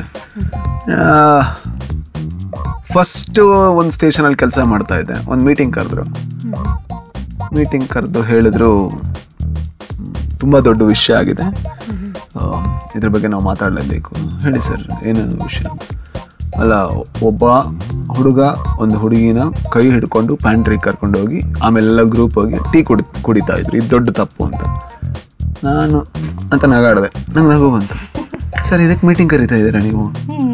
ಸರ್ ಇಂಥ ತಲೆಯಲ್ಲಿ ಇಂಥ ಥಾಟ್ ಇರೋವಂಥ ಕಂಪ್ನಿಯಲ್ಲಿ ಕೆಲಸ ಮಾಡಿದ್ರೆ ನನಗೆ ಇನ್ಸಲ್ಟ್ ತುಂಬ ದೊಡ್ಡ ಇದಾಗುತ್ತೆ. ದಯವಿಟ್ಟು ಎಕ್ಸ್ಕ್ಯೂಸ್ ಮಾಡಿ. ನಾನು ಕೆಲಸ ಬಿಡ್ತಿದ್ದೀನಿ ಅಂತ ರೆಸಿಗ್ನೇಷನ್ ಆಗ್ತೇನೆ ಲೈಕ್ ಒಬ್ಬ ಮನುಷ್ಯ ಕ್ರಿಯೇಟಿವ್ಲಿ ಎಲ್ಲಿ ಬೆಳೆಯೋ ಸಾಧ್ಯತೆ ಇದೆ, ಆ ಕ್ರಿಯೇಟಿವಿಟಿ ಅನ್ನೋ ಒಂದು ವಿಷಯವನ್ನು ಬಿಟ್ಟು ಮಿಕ್- ಮಿಕ್ಕಿದ್ದೆಲ್ಲದ್ರ ಬಗ್ಗೆ ಯೋಚನೆ ಮಾಡೋದಿದೆಯಲ್ವಾ? ತುಂಬ ದರಿದ್ರತನದ ಪರಮಾವಧಿ ಅಂತ ಅನ್ಸುತ್ತೆ. ಸೊ ಅದೊಂದು ಬಿಟ್ಟೆ. ಇನ್ನೊಂದು ಕಡೆ ನನ್ನ ಶೋ ಸ್ವಲ್ಪ ಹೆಸರು ಮಾಡಿತ್ತು. ಆಗ ಏನಾಯ್ತು ಅಂದರೆ ಒಬ್ಬರು ಬಾಸ್ ಬಂದರು ಬೆಂಗಳೂರಿಂದ. ಬಂದು ಹೇಳಿದ್ರು ನೀನು ಆ ಶೋ ಬಿಡು ಇನ್ನೊಂದು ಶೋ ಮಾಡು. ಯಾಕೆ? ಇಲ್ಲ ನಂಗೆ ಅನಿಸ್ತಾ ಇದೆ ಮಾಡು ಅಂತ. ಆಗ ನಂಗೆ ಅನಿಸ್ತು ಅಂದರೆ ಯಾರೋ ಒಬ್ಬರು ಬಂದು ನಿದ್ದೆಯಿಂದ ಎದ್ದು ಯಾವುದೇ ಒಂದು ಥಾಟ್ ಪ್ರಾಸೆಸ್ ಇಲ್ಲದೆ ಒಂದು ಡಿಸಿಷನ್ನ ತಗೋತಾರೆ ಅದನ್ನೊಬ್ಬ ಕೆಲಸದವನ್ನು ಫಾಲೋ ಮಾಡಬೇಕು ಅಂದರೆ ಲೈಕ್ ಅದೊಂಥರ ಅನ್ಯಾಯ ಅಲ್ವಾ? ನಾನು ಅಂದ್ಕೊಂಡೆ ಇನ್ನು ಮುಂದೆ ನನಗೆ ಯಾವತ್ತೂ ಬಾಸ್ ಇರಬಾರ್ದು ಅಂತ. ಇನ್ನು ಜೀವನದಲ್ಲಿ ಯಾರಂಡರೂ ಕೆಲಸ ಮಾಡಲ್ಲ ಅಂತ ಡಿಸೈಡ್ ಮಾಡಿ ರೆಸಿಗ್ನೇಷನ್ ಕೊಟ್ಟೆ. ಸಂಬಳ ಜಾಸ್ತಿ ಮಾಡ್ತೀನಿ ಅಂದರು ಬೇಡ ಅಂದೆ ಶೋ ಅದೇ ಕೊಡ್ತೀನಿ ಅಂತ ಹೇಳಿದ್ರು. ಬೇಡ ಶೋ ಪ್ರಾಬ್ಲಮ್ ಅಲ್ಲ. ನಂಗೆ ಆ ಥಾಟ್ ಹೋಯ್ತಲ್ಲ ಅರ್ಥ ಆಯ್ತಲ್ವಾ? ಲೈಕ್ ನೀನು ಯಾವ ಡಿಸಿಷನ್ ಬೇಕಾದ್ರೂ ತಗೋಬೋದು ಅಂದರೆ. ಅದು ಅರ್ಥ ಆಯ್ತಲ್ವಾ? ಇನ್ನು ನಾನು ಕೆಲಸ ಮಾಡೋಣ ಅಂತ ಬಿಟ್ಟು. ಸೊ ಮೇ ಬಿ ಈ ಕಾರಣದಿಂದ ಎರಡು ಕೆಲಸ ಬಿಟ್ಟು. ಅಲ್ಲಿಂದ ಮುಂದಕ್ಕೆ ಹೇಗಿತ್ತು ನಿಮ್ಮ ಅಲ್ಲಿಂದ ಕೆಲಸ ಬಿಟ್ಟಿದ್ದೀನಿ. ಮುಂದೇನು ಮಾಡೋದು ಗೊತ್ತಿಲ್ಲ. ಆಮೇಲೆ ಒಂದು ಸ್ವಲ್ಪ ರಿಸರ್ಚ್ ಮಾಡಿ ಒಂದು ಸ್ಟುಡಿಯೋ ಸೆಟಪ್ ಮಾಡಿದೆ. ಸ್ಟುಡಿಯೋ ಸೆಟಪ್ ಮಾಡಿ ಎಲ್ಲ ನಮ್ಮ ಮಂಗಳೂರಿನ ಲೋಕಲ್ ಚಾನಲ್ಗಳಿಗೆ ವಾಯ್ಸ್ ಓವರ್ಸ್ ಕೊಡ್ತಾ ಇದ್ದೆ ಅಡ್ವರ್ಟೈಸ್ಮೆಂಟ್ಗೆ ಅದರಿಂದಾಗಿ ಆ್ಯಡ್ ಮೇಕರ್ಸ್ಗಳು ಪರಿಚಯ ಆದರು. ಆಮೇಲೆ ಅಡ್ವರ್ಟೈಸ್ಮೆಂಟ್ ಬರಿಬೋದಾ ಕೇಳಿದ್ರು. ಆಮೇಲೆ ಯಾರೋ ಚೆನ್ನಾಗಿ ಬರಿತಾ ಇದ್ದಾರೆ ಸ್ವಲ್ಪ ಡೈರೆಕ್ಷನ್ ನೋಡ್ಬೋದಾ ಅಂತ ಹೇಳಿದ್ರು. ಸೊ ಹೀಗೆ ಆ್ಯಕ್ಚುಲಿ ನಾನು ಡೈರೆಕ್ಷನಿಗೆ ಬಂದೆ. ನಾನು ತಗೊಂಡಂಥ ಸಿಟ್ಟಿನ ಡಿಸಿಷನ್ಗಳೇ ಮೇ ಬಿ ನನ್ನನ್ನು ಹೆಲ್ಪ್ ಮಾಡ್ತು. ಅದು ಧೈರ್ಯದ ಡಿಸಿಷನ್ಗಳೇ ನನಗೆ ಸಿನಿಮಾಗೆ ಹೆಲ್ಪ್ ಮಾಡ್ತು ಅಂತ ಅನ್ಸುತ್ತೆ.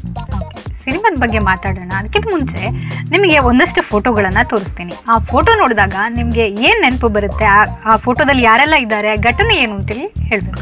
ಮೊದಲನೇ ಫೋಟೋ ಇದು. ಓಕೆ. ಹಾಂ ನನಗೆ ಸಿನಿಮಾ ಅಂದರೆ ಏನು ಅಂತಲೇ ಗೊತ್ತಿಲ್ಲ. ನಾನೊಂದು ವಾಯ್ಸ್ ಓವರಲ್ಲಿ ವಾಯ್ಸ್ ಓವರ್ ಸ್ಟುಡಿಯೋದಲ್ಲಿ ಕೆಲಸ ಮಾಡ್ತಾ ಇದ್ದೆ. ಆ್ಯಂಡ್ ನನ್ನನ್ನು ಫಸ್ಟ್ ಟೈಮ್ ಒಬ್ಬ ಆ್ಯಕ್ಟ್ರಾಗಿ ಕಾಸ್ಟ್ ಮಾಡಿದ್ದು ಯಾರು ಅಂದರೆ ಪೃಥ್ವಿ ಪೃಥ್ವಿ ಅಂಬರ್ ಅವನೊಂದು ಶಾರ್ಟ್ ಫಿಲ್ಮ್ ಮಾಡ್ತಾ ಇದ್ದ. ಅದ್ರ ಹೆಸರು ಸಾದಿನ? ಸಾದಿನ. ಹಾಂ ಸಾದಿನ. ಏನೋ ಒಂದು ಶಾರ್ಟ್ ಫಿಲ್ಮ್ ಹೆಸರಿತ್ತು. ಅದ್ರಲ್ಲಿ ನಂಗೊಂದು ರೋಲ್ ಕೊಟ್ಟಿದ್ದ. ಸೊ ಆರ್ ಅದಕ್ಕೋಸ್ಕರ ನಾನು ರಿಹರ್ಸಲ್ಗೆ ಹೋಗಿದ್ದೆ. ಅದು ಪೋಸ್ಟರ್ ಅದರದ್ದು. ಪೋಸ್ಟರ್ ಏನೋ ಅದರದ್ದು. ಆ ಆ ಮಾಡ್ತಾ ಇರೋ ತೆಗೆದು ತೆಗೆದ ಫೋಟೋ ಆ್ಯಂಡ್ ಅದು ಶೂಟ್ ಆಯಿತು ಅದು ರಿಲೀಸ್ ಆಗಿಲ್ಲ. ದೇವ್ರ ದಯ ರಿಲೀಸ್ ಆಗಿಲ್ಲ. ಅವ್ನು ಡೈರೆಕ್ಟರ್ ಆಗಿದ್ದ ನಾನು ಆ್ಯಕ್ಟರ್ ಆಗಿದ್ದೆ. ಈಗ ನಾನು ಬಟ್ ನನಗೆ ಯಾಕೆ ಅವ್ನು ಕಾಸ್ಟ್ ಮಾಡ್ದ? ನನ್ನಲ್ಲಿ ಏನು ನೋಡ್ದೆ ಗೊತ್ತಿಲ್ಲ. ಅವನು ಒಂದೇ ಸಲ ರಾಜಣ್ಣ ನೀವು ಮಾಡಿ. ಲೈಕ್ ನಾನು ಆ್ಯಕ್ಟರ್ ಅಲ್ಲ. ನಂಗೆ ಏನೂ ಗೊತ್ತಿಲ್ಲ ಆ್ಯಕ್ಟಿಂಗ್ ಬಗ್ಗೆ. ಡೈರೆಕ್ಷನ್ ಬಗ್ಗೆ ಏನು ಗೊತ್ತಿಲ್ಲ ಏನೂ ಗೊತ್ತಿಲ್ಲ. ಫಸ್ಟ್ ಅದು. ಮೇ ಬಿ ಅದು ನನ್ನ ಜೀವನದ ಮೊದಲ ಕ್ಯಾಮರಾ ಫೇಸಿಂಗ್ ಮೂಮೆಂಟ್ ಎರಡನೇ ಫೋಟೋ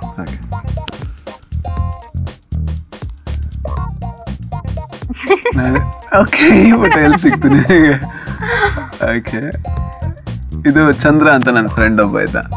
ಅವನ ಅಕ್ಕನ ಮದುವೆ ಟೈಮು ಅಲ್ಲಿಗೆ ಹೋಗಿದೆ ನಾನು.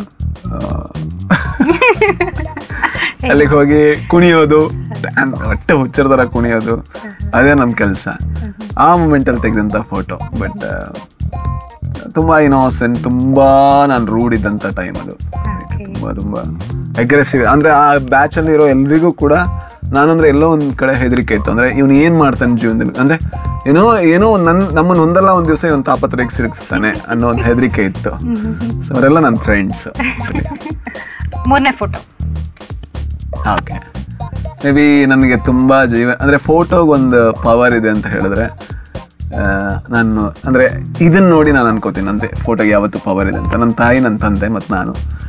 ಒಂದು ಮೊಟ್ಟೆ ಕತೆ ಸೆಲೆಬ್ರೇಷನ್ ಅದು. ಸೊ ನನಗೆ ಯಾವತ್ತೂ ಫಂಕ್ಷನ್ ಬಗ್ಗೆ ನನಗೆ ನಂಬಿಕೆ ಇರಲಿಲ್ಲ. ನಾನು ಬೇಡ ಬೇಡ ಅಂತಿದ್ದೆ.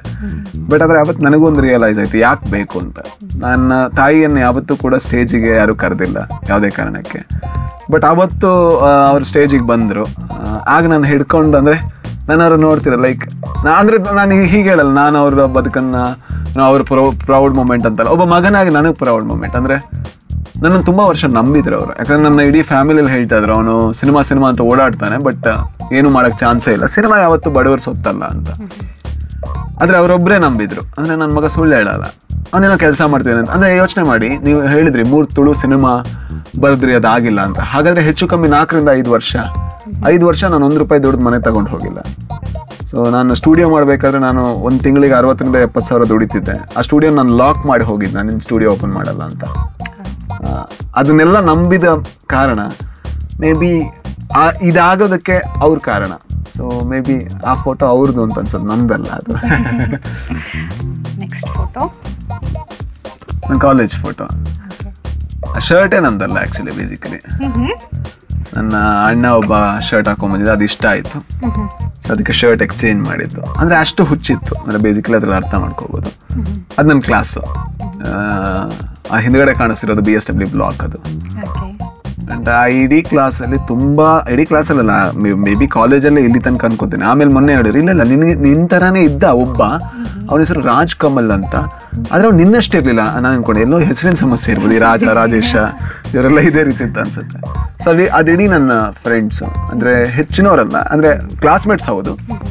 ಬಟ್ ಹೆಚ್ಚಿನವರು ನನ್ನ ಕ್ರೈಮ್ಗೆ ಸಹಪಾಠಿಗಳು ಅಥವಾ ಮಾಡಿದ ಎಲ್ಲ ತೊಂದರೆಗಳಿಗೆ ತಾಪತ್ರಯಗಳಿಗೆ ಆಯ್ತು ಮಾಡಿ ತೊಂದರೆ ಇಲ್ಲ ಏನು ಮಾಡೋದು ಅಂತ ಅನುಭವಿಸ್ತವ್ರು ಪಾಪ ಜೊತೆ ಬಿ ಎಸ್ ಡಬ್ಲ್ಯೂ ಆ ಫೋಟೋ ಆ್ಯಕ್ಚುಲಿ ರೀ ಇದು ಮಾಡಿದ್ದು ರೀ ಮಾಡಿದ್ದು. ಬಟ್ ನಂಗೆ ತುಂಬ ಕೂದಿತ್ತು. ನಾ ಮತ್ತೆ ಆ ಡ್ರೆಸ್ ಇರಲಿಲ್ಲ ಆ್ಯಕ್ಚುಲಿ ಅದು ಫೋಟೋ ಹಾಳಾಗಿದ್ದಕ್ಕೆ ಮತ್ತೆ ಮಾಡಿಸಿದ್ದು. ಈ ಫೋಟೋನು ಹಾಳಾಯ್ತು. ಹೇಗೆ ಅಂತ ಗೊತ್ತಿಲ್ಲ. ನನ್ನ ತಾಯಿಗೆ ಹೆಣ್ಮಗು ಅಂದರೆ ಭಾಳ ಇಷ್ಟ. ಅಂದರೆ ತುಂಬ ಡೆಕೋ ಅಂದರೆ ಮೇಕಪ್ ಮಾಡ್ಬೋದು ಅದು ಇದು ಅಂತ. ನನಗೆ ಯಾವಾಗಲೂ ತಲೆಗೆಲ್ಲ ಹೂ ಮುಟ್ಸೋದು ಬಟ್ಟೆ ಎಲ್ಲ ಹೆಣ್ಮಕ್ಳದ್ದು ಹಾಕೋದು ಆ ಫೋಟೋ ತುಂಬಾ ಚೆನ್ನಾಗಿತ್ತು ಈಗ ನೆನಪಿದೆ ನನಗೆ ಆ ಫೋಟೋ ಯಾವ ಥರ ಇದೆ ಅಂತ. ಅಂದರೆ ಇದಕ್ಕೂ ಅದಕ್ಕೂ ಸಂಬಂಧನೇ ಇಲ್ಲ. ಅಂದರೆ ಈಗಿರೋ ಪರ್ಸನ್ಗೂ ಆ ಮಗುಗೂ ಸಂಬಂಧನೇ ಇಲ್ಲ. ಬಟ್ ಅದೇ ನಾನು ಚಿಕ್ಕವನಿರ್ತಾ ಫೋಟೋ ಬಟ್ ಇರೋ ಒಂದೇ ಒಂದು ಫೋಟೋ ಅದು ಹಾಳಾಗಿದೆ. ಹೌದು. ಇದು ಭಾರತ್ ಮಾಲಲ್ಲಿ ನಾನು ಬರಿತಾ ಇದ್ದಂಥ ಫೋಟೋ ನಾನು ಯಾವತ್ತೂ ಅನ್ಕೋತೀನಿ, ಅಂದರೆ ರೈಟರ್ ಮನ್ಸು ಮಾಡಿದ್ರೆ ಎಲ್ಲಿ ಬೇಕಾದರೂ ಬರೀಬೋದು ಅಂತ. ಮೇ ಬಿ ಇದೊಂಥರ ಎಕ್ಸ್ಪೆರಿಮೆಂಟ್ ಅಂತ ಅನ್ಸುತ್ತೆ ನನಗೆ. ನಾನು ಅಂದ್ಕೊಂಡಿದ್ದೆ ಒಂದು ಸ್ಕ್ರಿಪ್ಟನ್ನು ನಾನು ಒಂದೂವರೆ ವರ್ಷದಿಂದ ಬರೆಯೋಕ್ಕಾಗಿರಲಿಲ್ಲ. ನಂದಲ್ಲ ನನ್ನ ಫ್ರೆಂಡ್ ಒಬ್ಬಂದು ಸುಹಾನ್ ಅದ್ರ ಪ್ರೊಡ್ಯೂಸರ್ ಆಗ ನಾನು ಯಾವತ್ತೂ ಅನ್ಕೋತಾ ಇದ್ದೆ, ಅಂದರೆ ಇದನ್ನು ಬರಿಬೇಕು ಬರಿಬೇಕು ಬರಿಬೇಕು ಅಂತ. ಬಟ್ ಆಗ ಟೈಮ್ ಸಿಕ್ತು. ನಾನು ಆ ಮಾ, ಮಾಲಲ್ಲೇ ಬೆಳಿಗ್ಗೆಯಿಂದ ರಾತ್ರಿ ತನಕ ಕೂತು ಐದು ದಿವಸದಲ್ಲಿ ಕಂಪ್ಲೀಟ್ ಡೈಲಾಗ್ ಬರ್ಕೊಟ್ಟೆ. ಮೇ ಬಿ ಒಬ್ಬ ರೈಟರ್ ಆಗಿ ನನಗೆ ಬಹಳ ಖುಷಿ ಕೊಟ್ಟಂಥ ಸ್ಕ್ರಿಪ್ಟ್ ಅದು. ಸೊ ಬರಿತಿರೋಂಥ ಮೂಮೆಂಟಲ್ಲಿ ಫೋಟೋ ತೆಗ್ದಿದ್ರು. ನಾನು ಒಂದು ಮೊಟ್ಟೆ ಕತೆ ಅಲ್ಲ ಒಂದು ಮುಟ್ಟೆ ಕತೆ ನಾನು ಸುಲ್ತಾನ್ ಬತ್ತೇರಲ್ಲಿ ಕುತ್ಕೊಂಡ್ ಬರ್ದಿದ್ದು ಇದು ರೀಸೆಂಟ್ ಆಗಿ ಅಂದ್ರೆ ಅಲ್ಲಿಗೆ ಬರಿತಾ ಇರುವಾಗ ಯಾರು ಬಂದು ಕೇಳ್ತಾ ಇರ್ಲಿಲ್ವಾ? ಹೇ ನೀವು ರಾಜಪಿ ಶೆಟ್ಟಿ ಅಲ್ವಾ ಆ ಕೇಳ್ತಿದ್ರು ಕೆಲವು ಸಲ ಓಕೆ ಹೌದು ಓಕೆ ಥ್ಯಾಂಕ್ ಯು ಮತ್ತೆ ಬರಿತಿದ್ದೆ. ಇನ್ನೊಂದು ಕಾಲೇಜ್ ಡ್ರಾಮಾ ಓಕೆ. ಆ ಕಾಲೇಜ್ ಡ್ರಾಮಾಗೆ ಡೈರೆಕ್ಟ್ರು ಗಣೇಶ್ ಅಂತ. ಅಂದರೆ ನಾವು ಯಾವಾಗ ಹೇಗೆ ಅಂದ್ಕೊಂಡಿದ್ವಿ ಅಂದರೆ ಆಗ ಬರೆಯೋನೇ ಡೈರೆಕ್ಟ್ರು ಅಂತ ಅನ್ಕೊಂಡಿದ್ವಿ. ನಮ್ಮ ತಲೆಯಲ್ಲಿ ಆ ಥರ ಇತ್ತು. ರೈಟರ್ ಡೈರೆಕ್ಟರ್ ಅನ್ನೋ ಬೇರೆ ಬೇರೆ ಕಾನ್ಸೆಪ್ಟ್ ಇದೆ. ಇದಕ್ಕೆ ಯಾರು ಹೊರಗಿನವ್ರು ಬರ್ತಾ ಇರಲಿಲ್ಲ. ಈಗ ಆ್ಯಕ್ಚುಲಿ ಕಾಲೇಜಲ್ಲಿ ವೆರೈಟಿ ಅಂತ ಹೇಳಿದ್ರೆ ಕಲ್ಸೋದಕ್ಕೆ ನಾವು ಯಾರಾದರೂ ಹೋಗ್ತೀವಿ. ಆಗ ಆ ಥರ ಯಾರೂ ಇರಲಿಲ್ಲ. ನಾವೇ ಏನೋ ಮಾಡಿ, ನಾವೇ ಏನೋ, ಆ ಪರದೆ ಕಟ್ಟಿದ್ರಿಂದ ಹಿಡಿದು ಎಲ್ಲದೂ ಕೂಡ ನಾವೇ ಮಾಡ್ತಾ ಇದ್ವಿ. ಕಾಸ್ಟ್ಯೂಮ್ ಇದು ಮಾಡೋದ್ರಿಂದ ಹಿಡಿದು ಮೇಕಪ್ ಕೊಟ್ಟು ಮೇಕಪ್ಪಿಗೆ ಒಬ್ರು ಬರ್ತಾ ಇದ್ರು. ಹಾಗಾಗಿ ನಾವು ತುಂಬ ಕಲಿತಾ ಇದ್ವಿ. ಆ್ಯಂಡ್ ಕಾಮಿಡಿ ಎಲ್ಲ ಏನಿರುತ್ತೆ ಅದನ್ನ ಯಾವತ್ತೂ ನಾನು ಡೈರೆಕ್ಟ್ ಮಾಡ್ತಾ ಇದ್ದೆ. ನಾನು ಹೇಳ್ಕೊಡ್ತಾ ಇದ್ದೆ ಆ್ಯಕ್ಟರ್ಗಳಿಗೆ ಆ್ಯಕ್ಟರ್ಗಳಿಗೆ ನಾನು ಹೇಳ್ಕೊಡ್ತಾ ಇದ್ದೆ. ಬರಿತಾ ಇದ್ದಿದ್ದು ಗಣೇಶ್ ಅಂತ ಒಬ್ಬ ಬರಿತಾ ಇದ್ದ. ಮೇ ಬಿ ನಂಗೆ ತುಂಬ ಕಲಿಸಿದಂಥ ನಾಟಕಗಳಿವು. ಸೊ ಗ್ರೇಟ್ ನಾಟಕ ಅಂತ ಕರೆಯಲ್ಲ ಬಟ್ ಆದರೆ ನನಗೆ ತುಂಬ ಕಲಿಸ್ತು. ಒಳ್ಳೆ ಟೀಚರ್ ಆಯಿತು. ರೋಶ್ನಿದ ಸ್ಟೇಜ್ ಅದು ರೋಶ್ನಿ ಸ್ಟೇಜ್ ಅದು. ಕೊನೆ ಫೋಟೋ ಓಕೆ ಇದು ನನ್ನ ತುಂಬ ಹತ್ತಿರದ ಫ್ರೆಂಡ್ಸ್ ಅದರಲ್ಲಿ ಒಂದು ಮುಟ್ಟೆ ಕಥೆಯಲ್ಲಿ ಕೆಲಸ ಮಾಡಿದ್ರು ತುಂಬ ಜನ ಇದ್ದಾರೆ ಅದ್ರ ರಾಜೇಶ್ ಒಂದು ಮುಟ್ಟೆ ಕಥೆಯಲ್ಲಿ ಕೆಲಸ ಮಾಡಿದನು. ರಾಕೇಶ್ ಆ್ಯಕ್ಟ್ ಮಾಡಿದ್ದ ಶಾಮಿಲ್ ಅಂತ ಒಬ್ಬ ಇದ್ದಾನೆ. ಲತಿ ಅಂತ ಒಬ್ಬ ಇದ್ದಾನೆ. ಅವನು ಕೆಲಸ ಮಾಡಿದನು. ಸಂದೀಪ್ ಅಂತ ಇದ್ದಾನೆ. ಅವನು ಕೆಲಸ ಮಾಡಿದನು. ಸುದರ್ಶನ್. ಮತ್ತೆಲ್ಲ ಫ್ರೆಂಡ್ಸ್ ಅದು ಟೈಮು ನಾನು ಕೆ ಪಿ ಟಿಲಿ ಒಂದು ವಾಯ್ಸ್ ಓವರ್ ಸ್ಟುಡಿಯೋ ಓಪನ್ ಮಾಡಿದೆ. ಆ್ಯಂಡ್ ಅದು ವಾಯ್ಸ್ ಓವರ್ ಸ್ಟುಡಿಯೋ ಮತ್ತೊಂಥರ ಯುವಕರ ಸಂಘ ಆಗಿತ್ತು.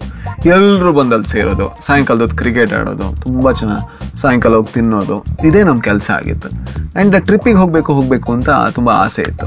ಅದು ಕೊಪ್ಪದ ಹತ್ರ ಒಂದು ಫಾಲ್ಸ್ ಇದೆ ಸಿರಿಮನೆ ಫಾಲ್ಸ್ ಅಲ್ಲಿಗೆ ಹೋದಾಗ ತೆಗೆದಂಥ ಫೋಟೋ ಅದು. ನಿಮಗೆ ಇಪ್ಪತ್ತೈದನೇ ವಯಸ್ಸಲ್ಲೇ ಮದುವೆ ಮಾಡಕ್ ಹೊರಟಿದ್ರಂತೆ? ಹೌದು. ಯಾಕೆ? ಆಗ ನನಗೆ ಡಿಗ್ರಿಯಿಂದ ಒಬ್ಳು ಗರ್ಲ್ ಫ್ರೆಂಡ್ ಇದ್ಲು ಸೊ ಬ್ರೇಕಪ್ ಆಯಿತು. ಮನೆಯವ್ರು ಅನ್ಕೊಂಡಿದ್ರು ಆರು ವರ್ಷದ ರಿಲೇಷನ್ ಅದು. ಸೊ ಮನೆಯವ್ರು ಅನ್ಕೊಂಡಿದ್ರು ನಾನು ತುಂಬ ಡಿಪ್ರೆಷನಲ್ಲಿ ಇದ್ದೀನಿ ಆ ಟೈಮಲ್ಲಿ ಅಂತ. ಆ್ಯಂಡ್ ಅಲ್ಲಿ ತನಕ ನಾನು ಯಾವ ಮಾತು ಕೇಳಿಲ್ಲ ಮನೆಯವ್ರದ್ದು ಅದಕ್ಕೋಸ್ಕರ ಹೇಳಿದ್ರು ಮಗ ನಿನ್ನ ಈ ಈ ಥರ ನೋಡೋಕೆ ನಾನು ಚೆನ್ನಾಗಿದ್ದೆ. ಆ್ಯಕ್ಚುಲಿ ನಾನು ಯಾವುದಾದ್ರೂ ಒಂದು ವಿಷಯ ನನ್ನ ಲೈಫಲ್ಲಿ ಏನಾದರೂ ಆದರೆ ಬೇರೆಯವ್ರಿಗೆ ಗೊತ್ತು ಮಾಡೋದು ನಾನು ಮೂರು ತಿಂಗಳ ನಂತರ. ನಾನು ಸರಿ ಆದಮೇಲೆ ಬೇರೆಯವ್ರಿಗೆ ಹೇಳೋದು. ಅಲ್ಲಿ ತನಕ ನಾನು ಹೇಳ್ಕೊಳ್ಳಲ್ಲ. ನಾನು ಹೇಳಬೇಕಾದ್ರೆ ಮೂರು ತಿಂಗಳಾಗಿತ್ತು. ಬಟ್ ಅವ್ರ ಲೆಕ್ಕದಲ್ಲಿ ನಾನು ಡಿಪ್ರೆಷನಲ್ಲಿದ್ದೀನಿ ಅಂತ. ನೀನು ಮದುವೆ ಆಗಬೇಕು ಅಂತ. ಬೇಡ ಇಲ್ಲ ಇಲ್ಲ ಆಗಬೇಕು. ಅಂತ ಆಯಿತು. ನಾನು ಯಾವ ಮಾತು ಕೇಳಿಲ್ಲ. ಆಯಿತು ಏನು ಬೇಕೋ ಮಾಡ್ಬೋದು ಆಮೇಲೆ ಆ್ಯಕ್ಚುಲಿ ತೀರ್ಥಹಳ್ಳಿಲಿ ಹುಡುಗಿ ನೋಡಿದರು. ಅಲ್ಲಿಗೆ ಕರ್ಕೊಂಡೋದ್ರು ದೊಡ್ಡಪ್ಪನ ಮನೆ ಇತ್ತು. ಅಲ್ಲಿಗೆ ಕರ್ಕೊಂಡೋದ್ರು ಒಂದು ಹುಡುಗಿ ನೋಡೋಕೆ ಹೋದ್ವಿ. ಅಲ್ಲಿ ದೇವ್ರದ್ದೆಲ್ಲ ಹೊರ ಹೇಳಿದ್ರು ಒಬ್ಬಳೆ ಮಗಳು ನಾವು ಮಂಗಳೂರಿಗೆಲ್ಲ ಕಳ್ಸಲ್ಲ ಅಂತ. ಓಕೆ ಬಂದೆ. ಇನ್ನೊಂದು ಕಡೆ ಏನಾಯಿತು ಅಂದರೆ ಹುಡುಗಿ ಎಲ್ಲ ನೋಡಿ, ಓಕೆ, ಅದು ಇದು ಅಂತೆಲ್ಲ, ಓಕೆ ಆಯಿತು. ಓಕೆ ಆಗಿ ಮನೆಯವರೆಲ್ಲ ನೋಡಬೇಕು ಎಂಗೇಜ್ಮೆಂಟ್ ಮಾಡೋಣ ಅಂತ. ಮನೆಯವರು ಬಂದರು. ಎಲ್ಲ ಫಿಕ್ಸ್ ಮಾಡೋದು ಫೆಬ್ರವರಿ ಯಾವುದೆಷ್ಟೋ ತಾರೀಕು ಎಲ್ಲೋ ಒಂದು ಕಡೆ ಎಂಗೇಜ್ಮೆಂಟ್ ಅಂತ. ನಾ ಬಂದೆ ಹಿಂದೆ. ಬರಬೇಕಾದ್ರೆ ಆ ಪಕ್ಕದ ಮನೆಯವರು ನನಗೆ ಆ್ಯಕ್ಚುಲಿ ಪರಿಚಯ ಆಮೇಲೆ ಗೊತ್ತಾಯಿತು. ಹೋಗ್ಬೇಕಾದ್ರೆ ನೋಡಿದ್ರೆ ಅವ್ರು ಹೊರಗಡೆ ನಿಂತಿದ್ರು. ಆಮೇಲೆ ಮಾವಿಡ ನನ್ನ ಪರಿಚಯದವ್ರು, ಹೋಗೋಣ, ಮಾತಾಡೋಣ ಹೋಗೋಣ, ಮಾತಾಡೋಣ. ಹೋಗಿ ಮಾತಾಡ್ವಿ. ಮಾತಾಡಿದ್ಮೇಲೆ ಗೊತ್ತಾಯ್ತು. ಅವ್ರು ಕೇಳಿದ್ರು, ಯಾರಿಗೆ ಹುಡುಗಿ ನೋಡಕ್ಕೆ ಬಂದ್ರಿ? ನನ್ನ ಮಗನಿಗೆ ಅವ್ನಿಗೆ ಎಷ್ಟು ವರ್ಷ? ಇಪ್ಪತ್ನಾಲ್ಕು, ಇಪ್ಪತ್ತೈದು. ಅವಳು ಹುಡುಗಿ ನಮ್ಮ ದೊಡ್ಡ ಮಗಳು ಕ್ಲಾಸ್ಮೇಟ್ ಅವಳು. ಅವಳು ಮೂವತ್ತು, ಮೂವತ್ತೆರಡು ಆಯಿತು ಅಂತ. ಓ ಅಂತ ಗೊತ್ತಾಗ್ತಿಲ್ಲ, ತುಂಬ ಶಾರ್ಟ್ ಇದ್ದು. ಅದಕ್ಕೆ ಮನೆಯವರೆಲ್ಲ, ಇಲ್ಲ, ಬೇಡ, ಹಾಗೆ, ಹೀಗೆ ಅಂತ ಹೇಳಿದ್ರು. ನಂಗೆ ಒಂಥರ ಅದೊಂಥರ ಹಿಂಸೆ ಅನ್ನಿಸ್ತು. ಯಾಕಂದರೆ ಯಾರ್ದೋ ಮನೆಗೆ ಹೋಗಿ ಪಾಪ ಯಾರೋ ಹುಡುಗಿನ ನೋಡಿ ನಾವು ಜಡ್ಜ್ ಮಾಡೋದು ತುಂಬ ಕೆಟ್ಟ ವಿಷಯ ಅದು. ಅದಕ್ಕೆ ನಾನು ಹೇಳಿದೆ ದಯವಿಟ್ಟು ಬಿಟ್ಬಿಡಿ. ಎರಡೇ ಎರಡು ವರ್ಷ ಕೊಡಿ, ನನಗೇನೋ ಕೆಲಸ ಮಾಡಬೇಕು. ಆಮೇಲೆ ಬೇಕಾದ್ರೆ ನಿಮ್ಮ ಹೇಳ್ದಂಗೆ ಮದುವೆ ಆಗ್ತೀನಿ ಅಂತ. ಆಮೇಲೆ ಈಗ ಇಪ್ಪತ್ತೈದು, ಒಂದು ಏಳು ವರ್ಷ ಆಯಿತು. ಪಾಪ, ಅವ್ರಿಗೆ ಮರ್ತೋಗಿದೆ ಓಕೆ ಅದು ಹುಡುಗಿ ನೋಡೋದಾದ್ರೆ ಈಗ ನಿಮ್ಮ ಜೀವನದಲ್ಲಿ ನೀವೇನಾದ್ರೂ ಹುಡುಗಿಯನ್ನು ನೋಡ್ಕೊಂಡಿದ್ದೀರಾ ಹೇಗೆ? ಹುಡುಗಿ ನೋಡಿದೆ. ಬಟ್ ಆದರೆ ಮದುವೆ ಬಗ್ಗೆ ಮೊದಲಿನ ಥರ ನನಗೆ ಕಾನ್ಸೆಪ್ಟ್ ಇಲ್ಲ. ಲೈಕ್ ಮೊದಲು ಯಾವ ಥರ ಇತ್ತು ಅಂದರೆ ನಾವು ಅವ್ರನ್ನ ಹಾಕ್ತೀವಿ ಅವ್ರು ನಮ್ಮನ್ನ ಹಾಕ್ತಾರೆ. ಬಟ್ ಆಮೇಲೆ ಎಲ್ಲ ಚೆನ್ನಾಗಿರ್ತಾರೆ. ಈಗ ಚೆನ್ನಾಗಿರ್ತಾರೆ ಚೆನ್ನಾಗಿಲ್ಲ ಅದು ಅದು ಮದುವೆನೂ ಡಿಸೈಡ್ ಮಾಡೋದಲ್ಲ ಅದು ಡೈಲಿ ಆ್ಯಕ್ಟ್ ಡಿಸೈಡ್ ಮಾಡೋದು. ಇವತ್ತು ನಾನು ಹೇಗಿರ್ತೀನಿ ಅನ್ನೋದ್ರ ಮೇಲೆ ನನ್ನ ಹೆಂಡತಿ ಖುಷಿಲಿ ಇರ್ತಾಳೋ ಬೇಜಾರಲ್ಲಿ ಇರ್ತಾಳೋ ಡಿಸೈಡ್ ಆಗುತ್ತೆ. ಹಾಗಾಗಿ ಲೈಕ್ ಮದುವೆ ಆದರೂ ಪರವಾಗಿಲ್ಲ ಆಗದೇ ಇದ್ರೂ ಪರವಾಗಿಲ್ಲ ಒಟ್ಟು ಖುಷಿಲಿದ್ರೆ ಸಾಕು. ಅವಳಿಗೂ ಅದೇ ನಂಬಿಕೆ ಇದೆ. ಗೊತ್ತಿಲ್ಲ ಆಗ್ತೀನೋ ಇಲ್ಲೋ ಅಂತ. ಮತ್ತೆ ಯಾವತ್ತೂ ಕೂಡ ನಾಳೆ ಡಿಸಿಷನ್ ನಾವು ಇವತ್ತು ತಗೋಬಾರ್ದು. ನಾಳೆ ಬರುತ್ತೆ. ಓಕೆ ನಾಳೆ ಸಾಯಂಕಾಲ ಮದುವೆ ಆಗಬೇಕು ಅನ್ಸಿದ್ರೆ ಮದುವೆ ಆದರೆ ಆಯ್ತು ಹಾಗಿದ್ರೆ ಆಲ್ರೆಡಿ ನಿಮ್ಮ ಮನಸ್ಸಲ್ಲಿ ಒಬ್ರು ಹುಡುಗಿ ಇದ್ದಾರೆ ಅಂತೇಳಿ ಆಯ್ತು. ಮನ್ಸಲ್ಲಿ ಅನ್ನೋದಕ್ಕಿಂತ ಮನ್ಸಲ್ಲೆಲ್ಲ ನಾವು ಡಿಗ್ರಿಲಿ ಇರ್ಬೇಕಾದ್ರೆ ಅದೇ ರೀತಿ ಮಾತಾಡ್ತೀವಿ. ಜೀವನದಲ್ಲಿ ಒಬ್ಳು ಹುಡುಗಿದೆ ಓಕೆ ಈ ಕಾಲೇಜಲ್ಲಿ ಇರುವಾಗ ಯಾರ್ದಾದ್ರು ಕಿವಿ ಚುಚ್ಚಿದೇನು ಸೂಜಿನಲ್ಲಿ ಚುಚ್ಚಿರೋದು ಒಂದು ಘಟನೆ ಇದೆಯಾ? ಮೈಕಲ್ ಜಾಕ್ಸನ್ ಡ್ಯಾನ್ಸ್ ಇತ್ತು. ಸೊ ಕಿವಿ ಚುಚ್ಚಬೇಕು ಅಂದ್ರು ಕೊರಿಯೋಗ್ರಾಫರ್ ಅಲ್ಲ ಕಿವಿದೇನಾದ್ರು ಸ್ಟಡ್ ಹಾಕಿ. ನಾನಿಲ್ಲ ಅದು ಚುಚ್ಚೋದಿದೆಯಲ್ಲ. ಅಲ್ಲ ನಿಮ್ಮದು ಏನು ಈಗ ಬರುತ್ತೆ ಅಂತ ಹೇಳಿ. ಬಂದು ನನ್ನ ಫ್ರೆಂಡ್ ಹತ್ರ ಹಾಂ ಚುಚ್ಚು ಅಂದೆ. ಅವನೇನೋ ಪಿನ್ ಹಾಕಿ ಇಡ್ತಾನೆ. ಅದನ್ನ ಹಾಕೊಂಡು ಮತ್ತೇನೋ ಹಾಕಿ ಅವರು ಕೊರಿಯೋಗ್ರಾಫರ್ ನೋಡಿ ಇದು ಯಾವ ಥರ ಮನುಷ್ಯರು ಅನ್ಕೋತಿದ್ರು ಲೈಕ್ ಆ ಥರ ಇದ್ವಿ. ಹ್ಮ್. ಮೈಕಲ್ ಜಾಕ್ಸನ್ ಅಂದಾಗ ನೆನಪಾಯ್ತು ಶೂ ಹಾಕದೆ ಮೂನ್ ವಾಕ್ ಮಾಡಿದ್ರಂತೆ ಅಂದ್ರೆ ಪಾಪದ್ದು ಲೆಕ್ಚರ್ ಹೇಳಿದ್ರು ಶೂ ಹಾಕಿ ಮೈಕಲ್ ಜಾಕ್ಸನ್ ಮಾಡ್ಬೇಕಾದ್ರೆ ಶೂ ಹಾಕ್ಬೇಕಲ್ವಾ? ನಾವು ಹಾಕಲ್ಲ ಅಂತ. ನಾವು ಹಾಕ್ಬೇಕು ಹಾಕಲ್ಲ, ನಾವು ಹಾಕ ನಾವು ಈಗ ಮಾಡಿದ್ವಿ ಅವರು ಆಮೇಲೆ ಪಾಪ, ಅಂದ್ರೆ ಎಲ್ಲ ವಿಷಯಕ್ಕೂ ನಮ್ಗೆ ಯಾಕೆ ಅಂತ ಗೊತ್ತಿಲ್ಲ ಒಟ್ಟು ಬೇಡ. ನೀವೇ ನೋಡಿ, ಯಾಕಲ್ಲ ಕೇಳಬೇಕು? ಕೇಳಲ್ಲ ಮತ್ತೆ ನಾನು ಕೇಳಿಲ್ಲ ಅಂದ್ರೆ ನನ್ನ ಸುತ್ತ ಇರೋ ಒಂದು ಐದು ಜನ ಕೇಳಲ್ಲ. ಆಮೇಲೆ ಅವ್ರು ನಾನು ದಯವಿಟ್ಟು ನೋಡಿ ಅರ್ಥ ಮಾಡ್ಕೊ. ಚೆನ್ನಾಗಿ ಕಾಣಿಸಲ್ಲ. ಓಕೆ ಅಂತ ಹಾಕಿದ್ವಿ. ಹಾಕಿದ್ವಿ ಲಾಸ್ಟಿಗೆ ಹಾಕಿದ್ವಿ. ಬಟ್ ಪ್ರಾಕ್ಟೀಸಲ್ಲೆಲ್ಲ ಏನೋ ಮೂನ್ ಹೋಗ್ತಾರ ಥರ ಮಾಡ್ತಿದ್ದೆ. ಮೂನ್ ಹೋಗ್ ಥರ ಕಾಣಿಸ್ತಿರ್ಲಿಲ್ಲ ಬಟ್ ಮಾಡ್ತಿದ್ವಿ. ಓಕೆ ಈ ಸಿನಿಮಾದ ನೀವು ಇನ್ನೂ ಯಾವ ಸಿನಿಮಾಗಳು ನಮ್ಮ ಪ್ರೇಕ್ಷಕರ ಮುಂದೆ ನಿಮ್ಮನ್ನ ಹೀರೋ ಆಗಿ ಅಥವಾ ನಿರ್ದೇಶಕರನ್ನಾಗಿ ನೋಡ್ಬೋದು ನಮಗೆ? ಆಕ್ಟ್ ಮಾಡಿರುವಂಥ ಸಿನಿಮಾ ಈಗ ಸದ್ಯಕ್ಕೆ ಸದ್ಯಕ್ಕೆ ಕಥಾಸಂಗಮ ರಿಲೀಸ್ ಆಗ್ಬೋದು. ಆಮೇಲೆ ಮಾಯಾ ಬಜಾರ್ ಅಂತ ಒಂದಿದೆ. ತುರ್ತು ನಿರ್ಗಮನ ಅಂತ ಒಂದಿದೆ. ಆಮೇಲೆ ಚಾರ್ಲಿ ಸಪೋರ್ಟಿಂಗ್ ರೋಲ್ ಡೈರೆಕ್ಟರ್ ಆಗಿ ಈಗಷ್ಟೇ ಒಂದು ಸಿನಿಮಾ ಪ್ರಿಪೇರ್ ಆಗ್ತಾ ಇದ್ದೀನಿ ಕೂಡ. ಸೊ ಅದು ಸ್ವಲ್ಪ ಟೈಮ್ ಆಗ್ಬೋದು. ಯಾಕಂದರೆ ಅದು ಸ್ವಲ್ಪ ನಮಗೆ ಸ್ವಲ್ಪ ಚಾಲೆಂಜ್ ಕೊಡುವಂಥ ಸ್ವಲ್ಪ ಕಷ್ಟದ ಎಕ್ಸಿಕ್ಯೂಷನ್ ಸ್ವಲ್ಪ ಕಷ್ಟ ಇರುವಂಥ ಸ್ಕ್ರಿಪ್ಟ್ ಅದು. ಅದಕ್ಕೋಸ್ಕರ ನಾನು ನೋಡ್ತಾ ಇದ್ದೀನಿ ಪ್ರಿಪೇರ್ ಆಗ್ತಾ ಇದ್ದೀನಿ. ಸ್ವಲ್ಪ ಮೇ ಬಿ ನೆಕ್ಸ್ಟ್ ವರ್ಷದಲ್ಲಿ ಮೇ ಬಿ ರೆಡಿ ಆಗ್ಬೋದು ಅಂತ ಅನ್ಸುತ್ತೆ. ಕೋಸ್ಟಲ್ ವುಡ್ನಲ್ಲಿ ಸಿನಿಮಾ ಮಾಡಬೇಕು ಅಂತ ಹೇಳಿ ಬಂದ, ಬಂದವರು ನೀವು. ಆದರೆ ಈಗ ನಿಮಗೆ ಒಬ್ಬ ನಿರ್ದೇಶಕರಾಗಿ ನೋಡುವಾಗ ಕೋಸ್ಟಲ್ ವುಡ್ನಲ್ಲಿ ಯಾವೆಲ್ಲ ರೀತಿಯ ಬದಲಾವಣೆಗಳು ಆಗಬೇಕು ಅಂತೇಳಿ ಹೇಳಿ ನಿಮ್ಗೆ ಅನ್ಸುತ್ತೆ? ಒಳ್ಳೆ ಟೆಕ್ನಿಷಿಯನ್ಗಳು ಯಾವತ್ತೂ ಇಂಡಸ್ಟ್ರಿ ಬರಬೇಕು ಅಂತ ಅನ್ಸುತ್ತೆ. ಮತ್ತೆ ಸಿನಿಮಾ ಅನ್ನೋ ಮಾಧ್ಯಮ ಏನಿದೆ ಅದು ಎಕ್ಸ್ಪೆರಿಮೆಂಟ್ ಮಾಡುವಂಥ ಪ್ರಯೋಗ ಮಾಡುವಂಥ ಮಾಧ್ಯಮ. ನಮ್ದು ಏನಾಗಿದೆ ನಾವು ತುಂಬ ಸ್ಟೇಲ್ ಆಗಿದ್ದೀವಿ ನಾವು ಸ್ಟ್ಯಾಗ್ನೆಂಟ್ ಆಗಿದ್ದೀವಿ. ಇಲ್ಲ ಜನ ನಾವು ಆ್ಯಕ್ಚುಲಿ ಕಾಮಿಡಿನೇ ಕೇಳ್ತಾರೆ. ಒಳ್ಳೆ ಕಾಮಿಡಿ ಕೊಡೋಣ. ಅಥವಾ ಜನ ಅದನ್ನೇ ಕೇಳ್ತಾರೆ ಜನ ಜನ ಇದನ್ನೇ ಕೇಳ್ತಾರಲ್ಲ ಒಂದ್ಸಲ ಯಾವತ್ತೂ ನಾವು ಒಪ್ಕೋಬೇಕು ನಮಗೆ ಮಾಡೋಕ್ಕೆ ಬರಲ್ಲ. ಇದನ್ನು ಯಾವಾಗ ನಾವು ಒಪ್ಕೋತೀವಿ ಆಗ ಬೆಳಿತೀವಿ ಅಂತ ಅನ್ಸುತ್ತೆ. ಎಲ್ಲದನ್ನು ನಾವು ಆಡಿಯನ್ಸ್ ಮೇಲೆ ಹಾಕ್ಕೊಂಡು ಲೈಕ್ ಅಫ್ಕೋರ್ಸ್ ಹಾಂ, ಜನ ಏನೋ ಒಂದು ಎಕ್ಸ್ಪೆರಿಮೆಂಟೇಷನ್ ಒಪ್ಕೋಬೋದು. ಒಂದು ಒಳ್ಳೆ ಎಕ್ಸ್ಪೆರಿಮೆಂಟ್ ಹೇಳಿ ನನಗೆ ಯಾವುದಾಗಿದೆ ಅಂತ. ಎಕ್ಸ್ಪೆರಿಮೆಂಟ್ ಆಗ್ತಿಲ್ಲ, ಮತ್ತೆ ಹೊಸ ಕಲಾವಿದರನ್ನ ಹಾಕೊಳ್ಳೋಕೆ ನಾವು ಕೇಳ್ತಿಲ್ಲ. ಅಂದ್ರೆ ಹಳೆ ಕಲಾವಿದರನ್ನ ಹಾಕೋಬಾರ್ದು ಅಂತಾರೆ. ಅವರೆಲ್ಲ ಲೆಜೆಂಡ್ಗಳು ನಾವೆಲ್ಲ ಅವ್ರನ್ನ ನೋಡಿ ಬೆಳೆದವರು ಬಟ್ ಅದು ಅದ್ರ ಜೊತೆ ಟ್ಯಾಲೆಂಟ್ ಇರೋವಂಥ ಬೇರೆ ಬೇರೆ ಆ್ಯಕ್ಟರ್ಗಳನ್ನ ಯಾಕೆ ನಾವು ಹಾಕೊಳ್ಳಲ್ಲ ನಾವು ಯಾವಾಗಲೂ ಸೇಫ್ ಇರಬೇಕು ಅಂತ ಅನ್ಕೋತೀವಿ. ಅಂದ್ರೆ, ಸಿನಿಮಾ ಯಾವತ್ತು ಫುಡ್ ಥರ ಚೆನ್ನಾಗಿದೆ ಅಂದರೆ ಚೆನ್ನಾಗಿದೆ ಅಂತ ಒಂದೇ ಥರದ್ದು ಕೊಡ್ತಾ ಹೋದರೆ ಅಫ್ಕೋರ್ಸ್ ಮುಖಕ್ಕೆ ಹೊಡೆಯುತ್ತೆ. ಲೈಕ್ ಸಿನಿಮಾಗೂ ಇದಕ್ಕೂ ಫುಡ್ಡಿಗೂ ಯಾವುದೇ ರೀತಿಯ ಡಿಫ್ರೆನ್ಸ್ ಕೂಡ ಇಲ್ಲ. ಹಾಗಾಗಿ ನನಗನ್ಸುತ್ತೆ ಯಾವುದೇ ರೀತಿಯ ಪ್ರಯೋಗ ಆಗಿಲ್ಲ. ಯಾಕಂದರೆ ಅಷ್ಟು ಧೈರ್ಯ ಇರುವಂಥವ್ರು ತುಂಬ ಕಮ್ಮಿ ಜನ ಇದ್ದಾರೆ ಅಂತ ನನಗೆ ಅನ್ಸುತ್ತೆ ಅಫ್ಕೋರ್ಸ್ ದುಡ್ಡಿದ್ದ ಕಡೆ ಧೈರ್ಯ ಕಮ್ಮಿ ಇರುತ್ತೆ. ಯಾಕಂದರೆ ದುಡ್ಡಿದೆ, ಬಹಳಷ್ಟು ಇದಿದೆ. ಬಟ್ ಆದರೆ ಸಿನಿಮಾ ಅನ್ನೋ ಮಾಧ್ಯಮ ಇರೋದೇ ರಿಸ್ಕ್ ಮೇಲೆ. ಒಂದು ಸಿನಿಮಾ ಮಾಡಬೇಡಿ. ಮಾಡಿದ್ರೆ ಎಕ್ಸ್ಪೆರಿಮೆಂಟ್ ಮಾಡಿ. ಆ್ಯಂಡ್ ಯಾವತ್ತೂ ಆಡಿಯನ್ಸ್ ದಯವಿಟ್ಟು ದೂರಬೇಡಿ ಜನ ಕೇಳ್ತಾರೆ ಜನ ಫಸ್ಟಿಗೆ ನಾವು ಒಪ್ಕೊಳ್ಳೋಣ ಆಸ್ ಫಿಲ್ಮ್ ಮೇಕರ್ಸ್ ನಮಗಿರೋ ಎಬಿಲಿಟಿ ಇಷ್ಟು ಅಂತ. ಆಡಿಯನ್ಸ್ ಮೇಲೆ ಯಾವುದೇ ರೀತಿಯ ಬ್ಲೇಮ್ ಬೇಡ ಅಂತ ನಂಗೆ ಅನ್ಸುತ್ತೆ. ತುಳು ಇಂಡಸ್ಟ್ರಿ ಕೇವಲ ಒಂದಷ್ಟು ಜನರ ಕೈಯಲ್ಲಿದೆ ಅಂತ ಹೇಳಿ ಹೇಳಿ ನಿಮಗೆ ಅನಿಸಿದ್ಯಾ? ಇಂಡಸ್ಟ್ರಿ ಯಾವತ್ತೂ ಯಾರ ಕೈಯಲ್ಲೂ ಇರಲ್ಲ. ಅದರ ಸುಳ್ಳು. ಯಾಕೆ ಅಂದರೆ ಹೇಗೆ ಸೀರಕ್ಕೆ ಸಾಧ್ಯ? ಕಲೆ ಅನ್ನೋದು ಒಬ್ಬನ ಕೈಯಲ್ಲಿ ಹೇಗೆ ಉಳಿಯುತ್ತೆ?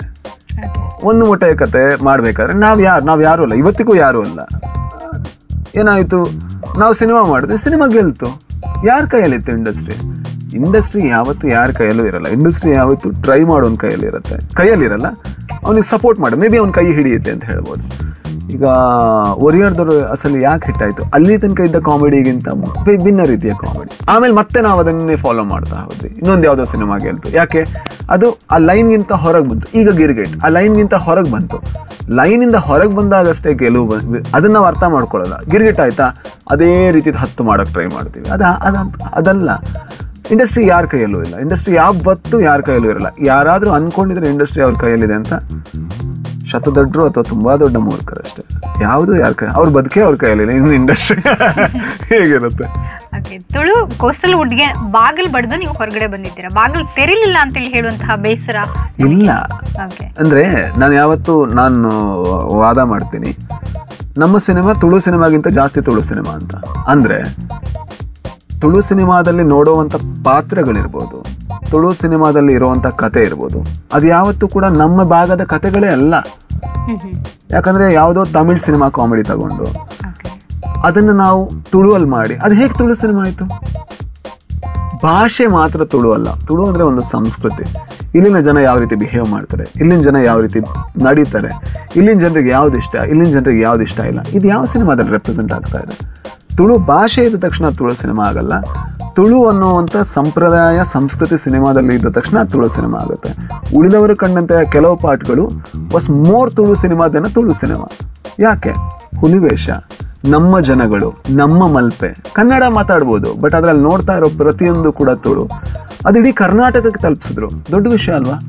ಬಟ್ ತುಳು ಸಿನಿಮಾಗಳಲ್ಲೇ ಅದು ಆಗ್ತಾ ಇಲ್ಲ ನಿಮಗೆ ಬೇರೆ ಕನ್ನಡ ಹೊರತಾಗಿ ಬೇರೆ ಭಾಷೆಯ ಸಿನಿಮಾಗಳಿಂದ ಆಫರ್ಗಳು ಬಂದಿದೆಯಾ? ಒಂದು ಎಕ್ಸ್ಪೆರಿಮೆಂಟಲ್ ಮಲಯಾಳಂ ಸಿನಿಮಾದಲ್ಲಿ ಮಾಡಿದೆ. ತಮಿಳ್ ಸಿನಿಮಾದಲ್ಲಿ ಒಂದು ಪಾತ್ರ ಇತ್ತು ಅಂತ ನಾನು ಚೆನ್ನೈಗೆ ಹೋದೆ. ಆಗ ನನಗೆ ಆ್ಯಕ್ಟಿಂಗ್ ಸಾಕು ಅಂತ ಅನಿಸಿತ್ತು.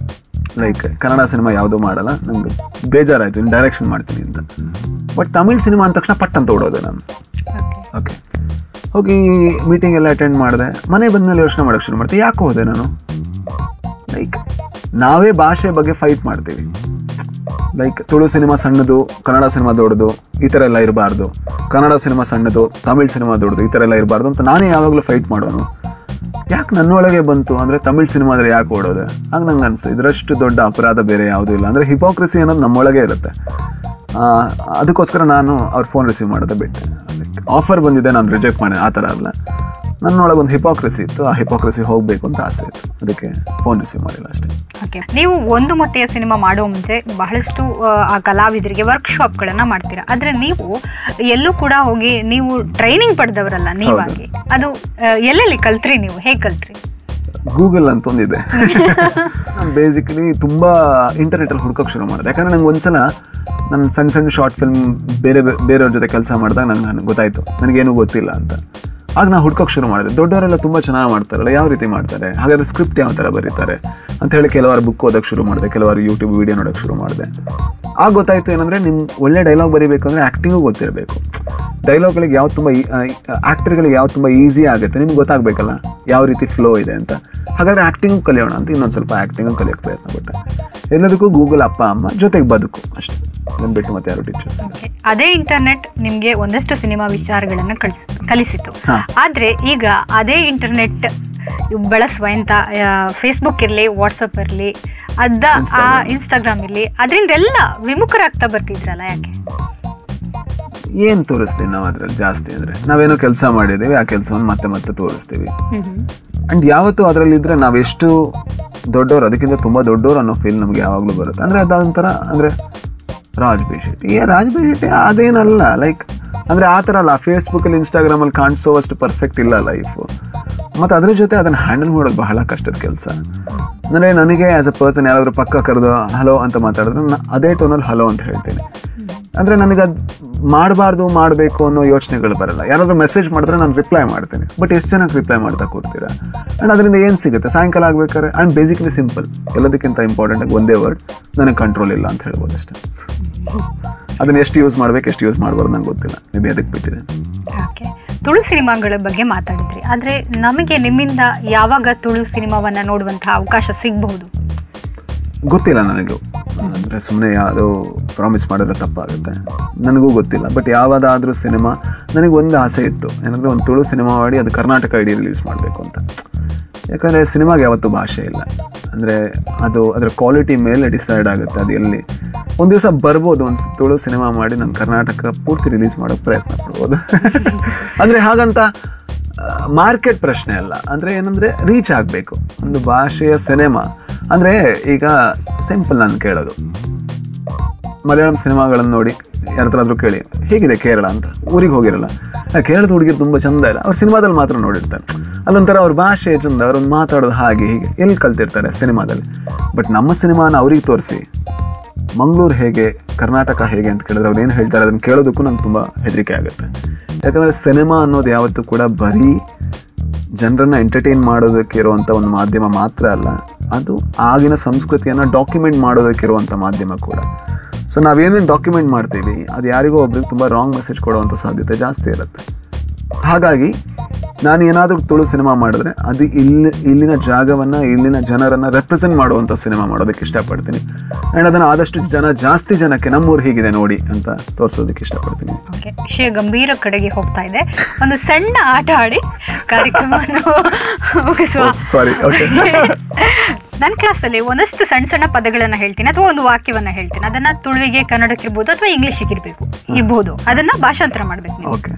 ಎ ಟಿ ಎಂ ಕೇಳಿದಿರಲ್ಲ ಆಟೋಮೆಟೆಡ್ ಆಟೋಮೇಟೆಡ್ ಟೆಲರ್ ಮಿಷಿನ್ ಇದನ್ನ ತುಳುವಿಗೆ ಭಾಷಾಂತರಿಸಿದ್ರೆ ಹೇಗಿರ್ಬೋದು? ಆಟೋಮೇಟೆಡ್ ಸ್ವಯಂ ಚಾಲಿತ ಏನು ಹೇಳ್ತಾರೆ ಕತುಳಲ್ಲಿ ಚಾಲಿತ. ಕನ್ನಡಕ್ಕೆ ಮಾಡೋಣ ಇಲ್ಲ ತುಳುವಿಗೆ ಮಾಡಬೇಕು. ಸ್ವಯಂ. ಸ್ವಯಂ ಸ್ವಯಂ ಚಾಲಿತ ದಾದ ಅನ್ಪುನು ಸ್ವಯಂ ಚಾಲಿತ ಪನ್ಪುನ ಯಂತ್ರ. ಟೆಲ್ಲರ್ ಈರ್ ಪನ್ನೀರ್ ಟ್ರಾನ್ಸ್ಲೇಟ್ ಮಾಡ್ತಾರೆ. ಅವರೆನ್ಸಲ ಮಲ್ಪಲ್ಲಿ. ಹಾ. ಓಕೆ. ತುಳುವಿನ ನಾನು ನೋಡಿ ಒಂದು ಕನ್ನಡಕ್ಕೆ ಭಾಷಾಂತರಿಸಿ. ಕಂಚಲ ಇತ್ತಂಡ ಎನ್ಸಲ ಉನಲ್ಲಿ ಹಾಗಲಕಾಯಿ ಇದ್ರೆ ಹೇಗೂ ಊಟ ಮಾಡ್ಬೋದು. ಓಕೆ. ಪಾಸ್ವರ್ಡ್ ಇದನ್ನ ತುಳುವಿಗೆ ಭಾಷಾಂತರಿಸಿ ಭಯಂಕರ ಗುಟ್ಟು. ಯಾಕಂದ್ರೆ ನಾರ್ಮಲಿ ಪಾಸ್ವರ್ಡ್ಗಳೆಲ್ಲ ಹಳೆ ಗರ್ಲ್ ಫ್ರೆಂಡ್ಗಳು ಹೆಣ್ಮಕ್ಳಿಗೆಲ್ಲ ಸಲ ಡೇಟ್ ಆಫ್ ಬರ್ತು. ಸೊ ಅದನ್ನ ಹೇಳ್ಕೋಬಾರ್ದು. ಹಾಗೆ ಭಯಂಕರ ಗುಟ್ಟು ಹೇಳ್ತಿರಲ್ಲ. ಟ್ಯೂಬ್ಲೈಟ್ ಅನ್ನ ತುಳುವಿನಲ್ಲಿ ಹೇಳೋದಾದ್ರೆ ಹೇಗೆ ಟ್ಯೂಬ್ ಲೈಟ್ ಅನ್ನ ನನ್ನ ಫ್ರೆಂಡ್ ಪ್ರವೀಣ್ ಶ್ರೀಯಾನ್ ಪಾಪ. ಇದೊಂದು ನಂಗೆ ಕಟ್ ಮಾಡಿ ಕಳಿಸಿ. ಅವರು ಪಾ ಅಂತಳು ಅವ್ರು ಅಂದ್ರೆ ಅವ್ರ ಪಾಪ ಅವರು ಇನ್ನೋಸೆಂಟ್ ಅವ್ರು. ಅಂದ್ರೆ ಅವರು ಯಾವತ್ತೂ ಕೂಡ ಇನ್ನೊಬ್ಬನ ಪ್ರ್ಯಾಂಕ್ ಮಾಡಬೇಕು ಅನ್ನೋ ರೀತಿ ಯೋಚನೆ ಮಾಡೋರಲ್ಲ. ಹಾಗಾಗಿ ನಾವೇನಾದ್ರೂ ಈ ಥರ ಎಲ್ಲ ಹೇಳಿದ್ರೆ ಅವ್ರು ಹೀಗೆ ಹೇಳ್ತಾರೆ. ಅದೇ. ಓಕೆ ಇದನ್ನ ಇಂಗ್ಲಿಷ್ಗೆ ಭಾಷಾಂತರಿಸಿ ಹ್ಮ್. ಪಿಜನ್ ಪಿಜ್ಜಿನ ಕೊನವು ಮಿತ್ತದಿಂದ ಕಕ್ಕಿ ಕೊನವು. If you keep on earth ant may take if you if you keep above hawk may take okay. Next toothpaste ಅನ್ನ ತುಳುವಿಗೆ ಭಾಷಾಂತರಿ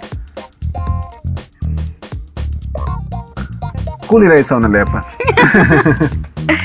ರೈಸ್ ಜಯಪದ ಬಟ್ ಏನು ಮತ್ತೆ ಮಾತೆ.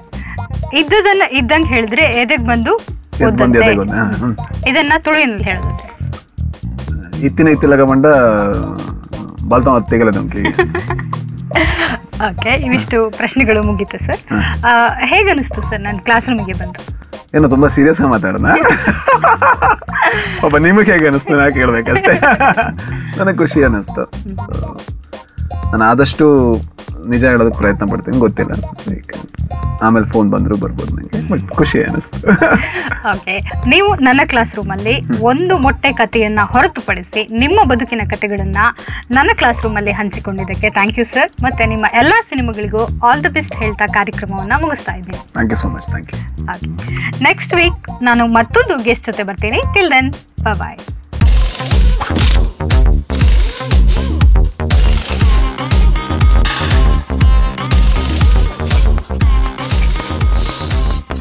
ಇದು ನನ್ನ ಕ್ಲಾಸ್ ರೂಮ್